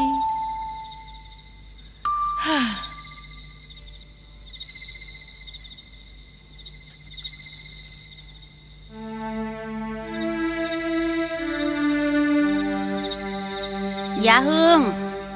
Dạ. Từ ngày ra viện đến nay Đêm nào má cũng thấy con ngồi viết. Ngủ sớm đi con. Thức đêm nhiều sẽ hại đến sức khỏe. Mẹ. Con muốn để lại một cái gì Mà không? Người xưa. Người xưa thường để lại cho đời những tấm gương tốt đẹp Má biết không Con đang viết về cái chết quanh liệt của nữ tướng Bùi Thị Xuân á. Những cành hoa giả lý này Là để tưởng niệm anh linh nữ kiệt Bùi Đô Đốc. Đó là hoa giả lý của thằng Tân nó trồng cho má đó. Nó nói à, con thích cái mùi hoa giả lý tự hồi con còn đi học. Nên nó trồng để cho má ngửi mỗi tối cho đỡ nhớ dạ hương. Nay con về, Nó lại trồng thêm mấy chậu nữa. Con biết. Mới con biết anh ấy là người cô tình cô nghĩa. Gia cảnh nghèo nhưng lại sống thanh cao. Trong khi có lắm kẻ sơn giàu Lòng nhân ái lại dừng dưng trước kẻ khổ. Đời đâu phải ai cũng đều tốt suốt Cũng là con người, Nhưng sao lại chẳng thương?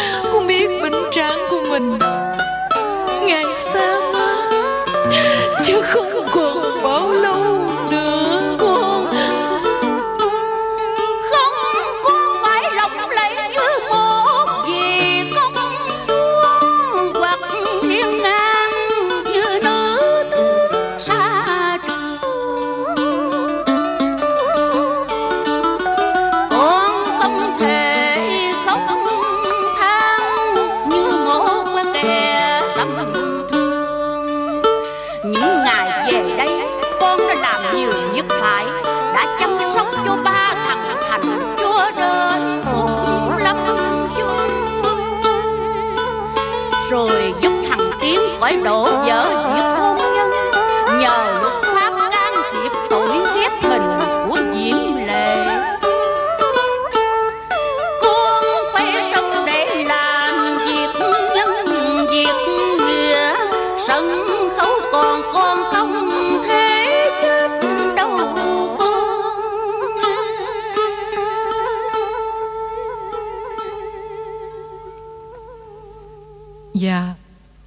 Sân khấu còn Má còn Con phải sống Sống với má Với sân khấu Với mọi người.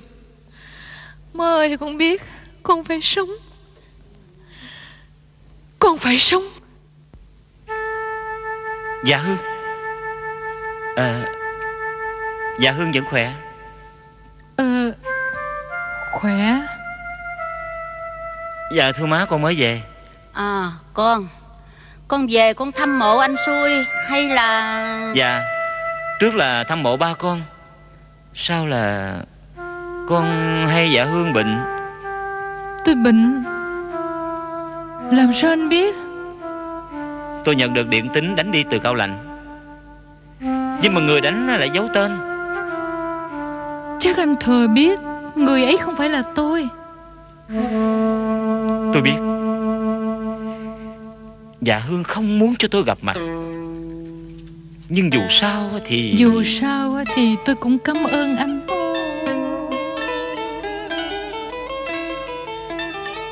Thưa má Ngày ba con mất. Con chẳng về kịp để để tang Vì Con đang đi khai quang giữa núi rừng buôn mi thuộc Nhờ có má già giả hương Chú toàn mọi việc. Trọn đời con chẳng dám quên.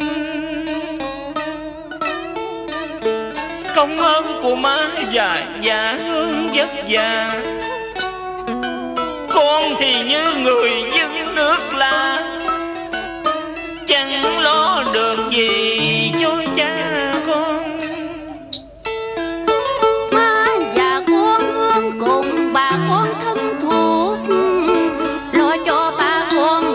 Cái nghĩa cái tình.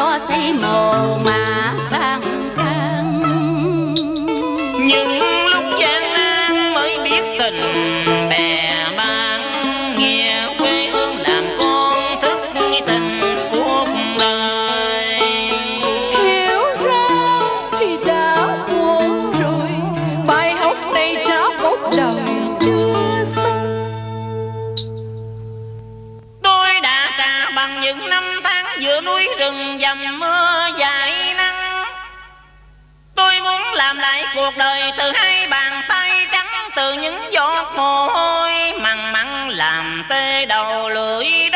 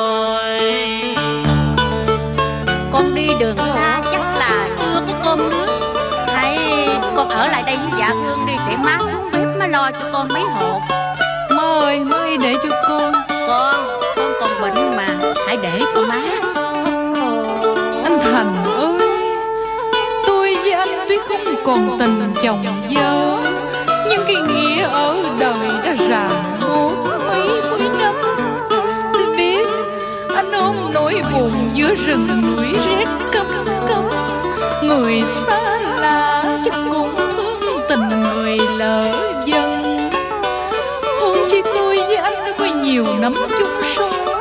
Hạnh phúc ngày đầu ai về quên nhau Tôi hận anh mà sao nước mắt cứ tuôn trào. Đêm đêm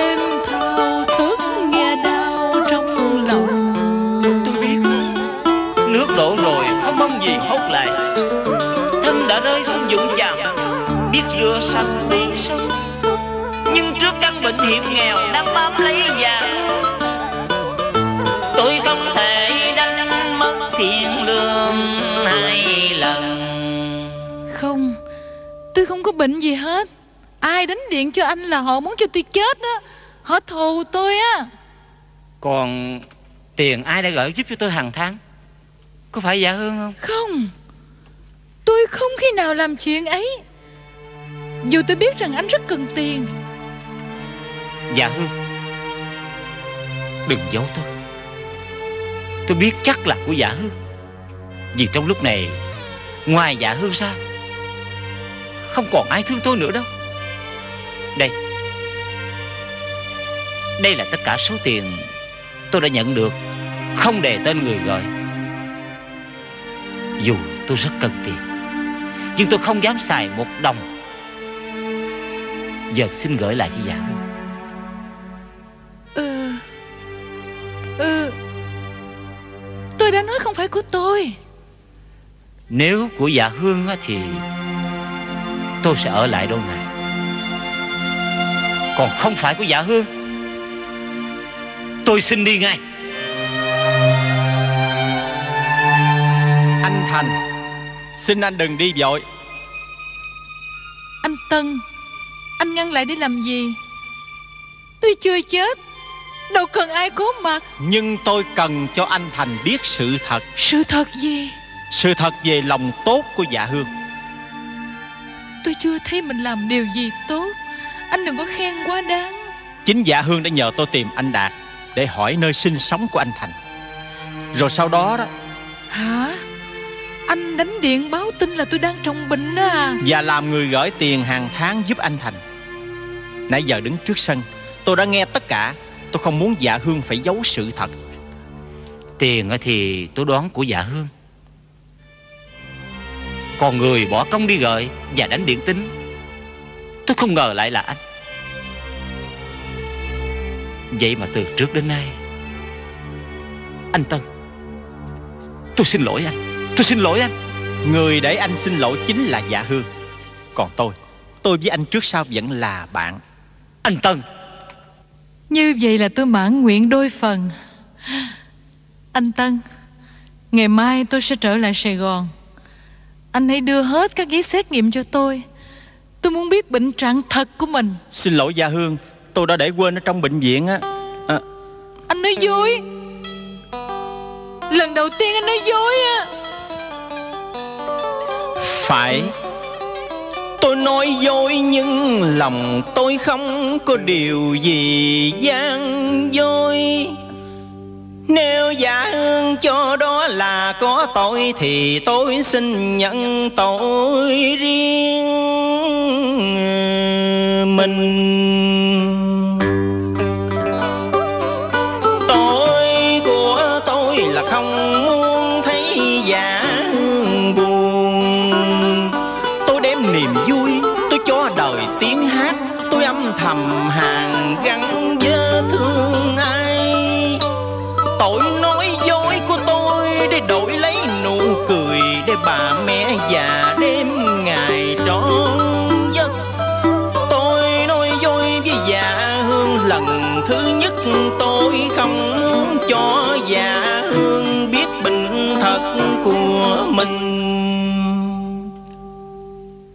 Bệnh thật của tôi Là bệnh gì? Có phải là khối u ở não Đến thời kỳ bộc phát? Có phải không? Tại sao anh im lặng? Anh Tân, Tuy anh và bác sĩ giấu tôi, Nhưng qua những cơn đau, Những lần chụp quang tuyến Và cách điều trị, Tôi cũng đoán được căn bệnh của mình mà. Nhưng anh đừng sợ, Tôi chưa có chết đâu. Tôi còn phải trở lại sân khấu. Nếu có chết, Tôi phải chết trên sàn diễn kìa. Tôi phải chết quanh liệt như Bùi Thị Xuân nữ tướng. Đúng, Má tôi nói đúng. Tôi phải hiên ngang như một nữ tướng giữa xa trường.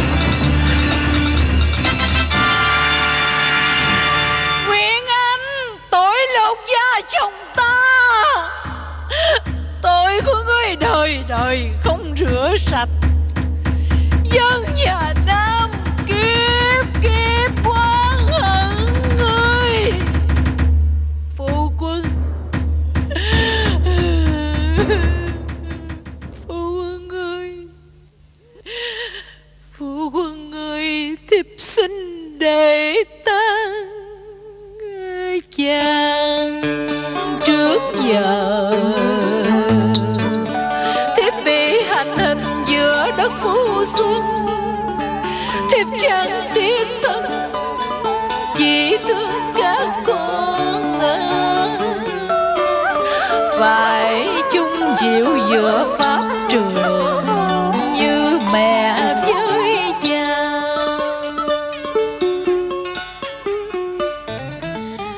Nguyễn Ánh quân Tây Sơn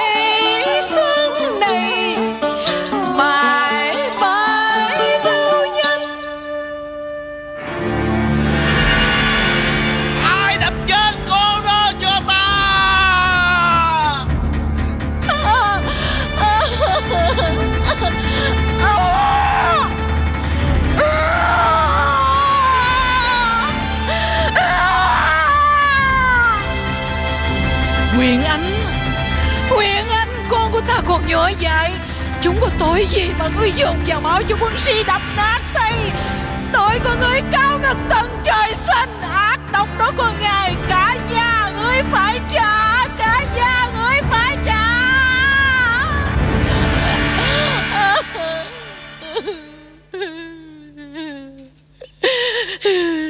Các con ơi, Tiếc cho mẹ cha thất thế xa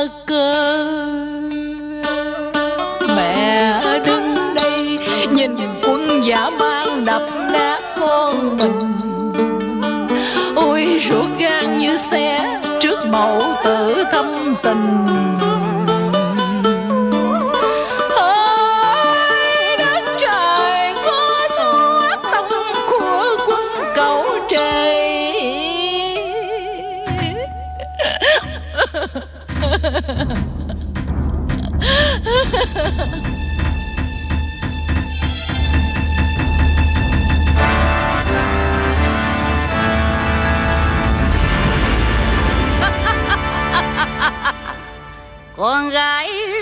哥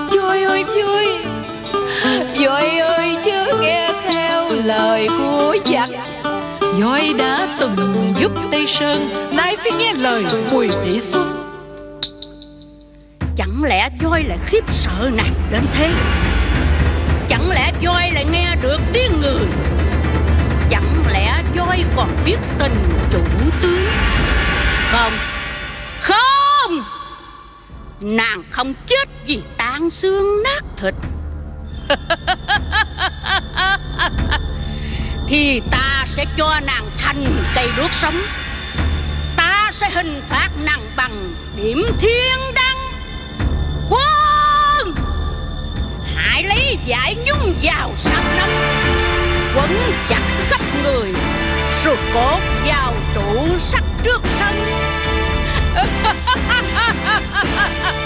Dâm lửa đốt cho đến khi nào Thân của Bùi Thị Xuân Thành đó bụi. Đốt đi. Đốt đi. Đốt đi. Đốt đi.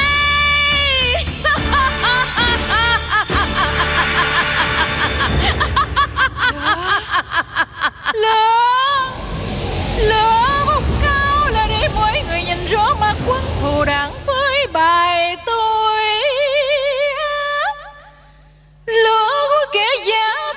hồng mộng thiêu quỷ xác thân này. Nhưng lửa không thể đốt cháy khi phách của con người. Lửa sẽ làm rạng ngời tẩy sơn chân nghĩa lửa đã bao lần giúp tiên đế thăng giặc ngoại xâm dùng chào đón bồi thể xuân trong ánh lửa ta như đứng giữa dòng hào quang chói lọi.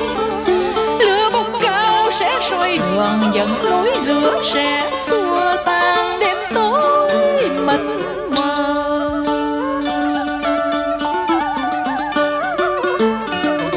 Quân! Đốt! Đốt cho đến khi nào thân tàn cốt rủi Đốt đi. Đốt.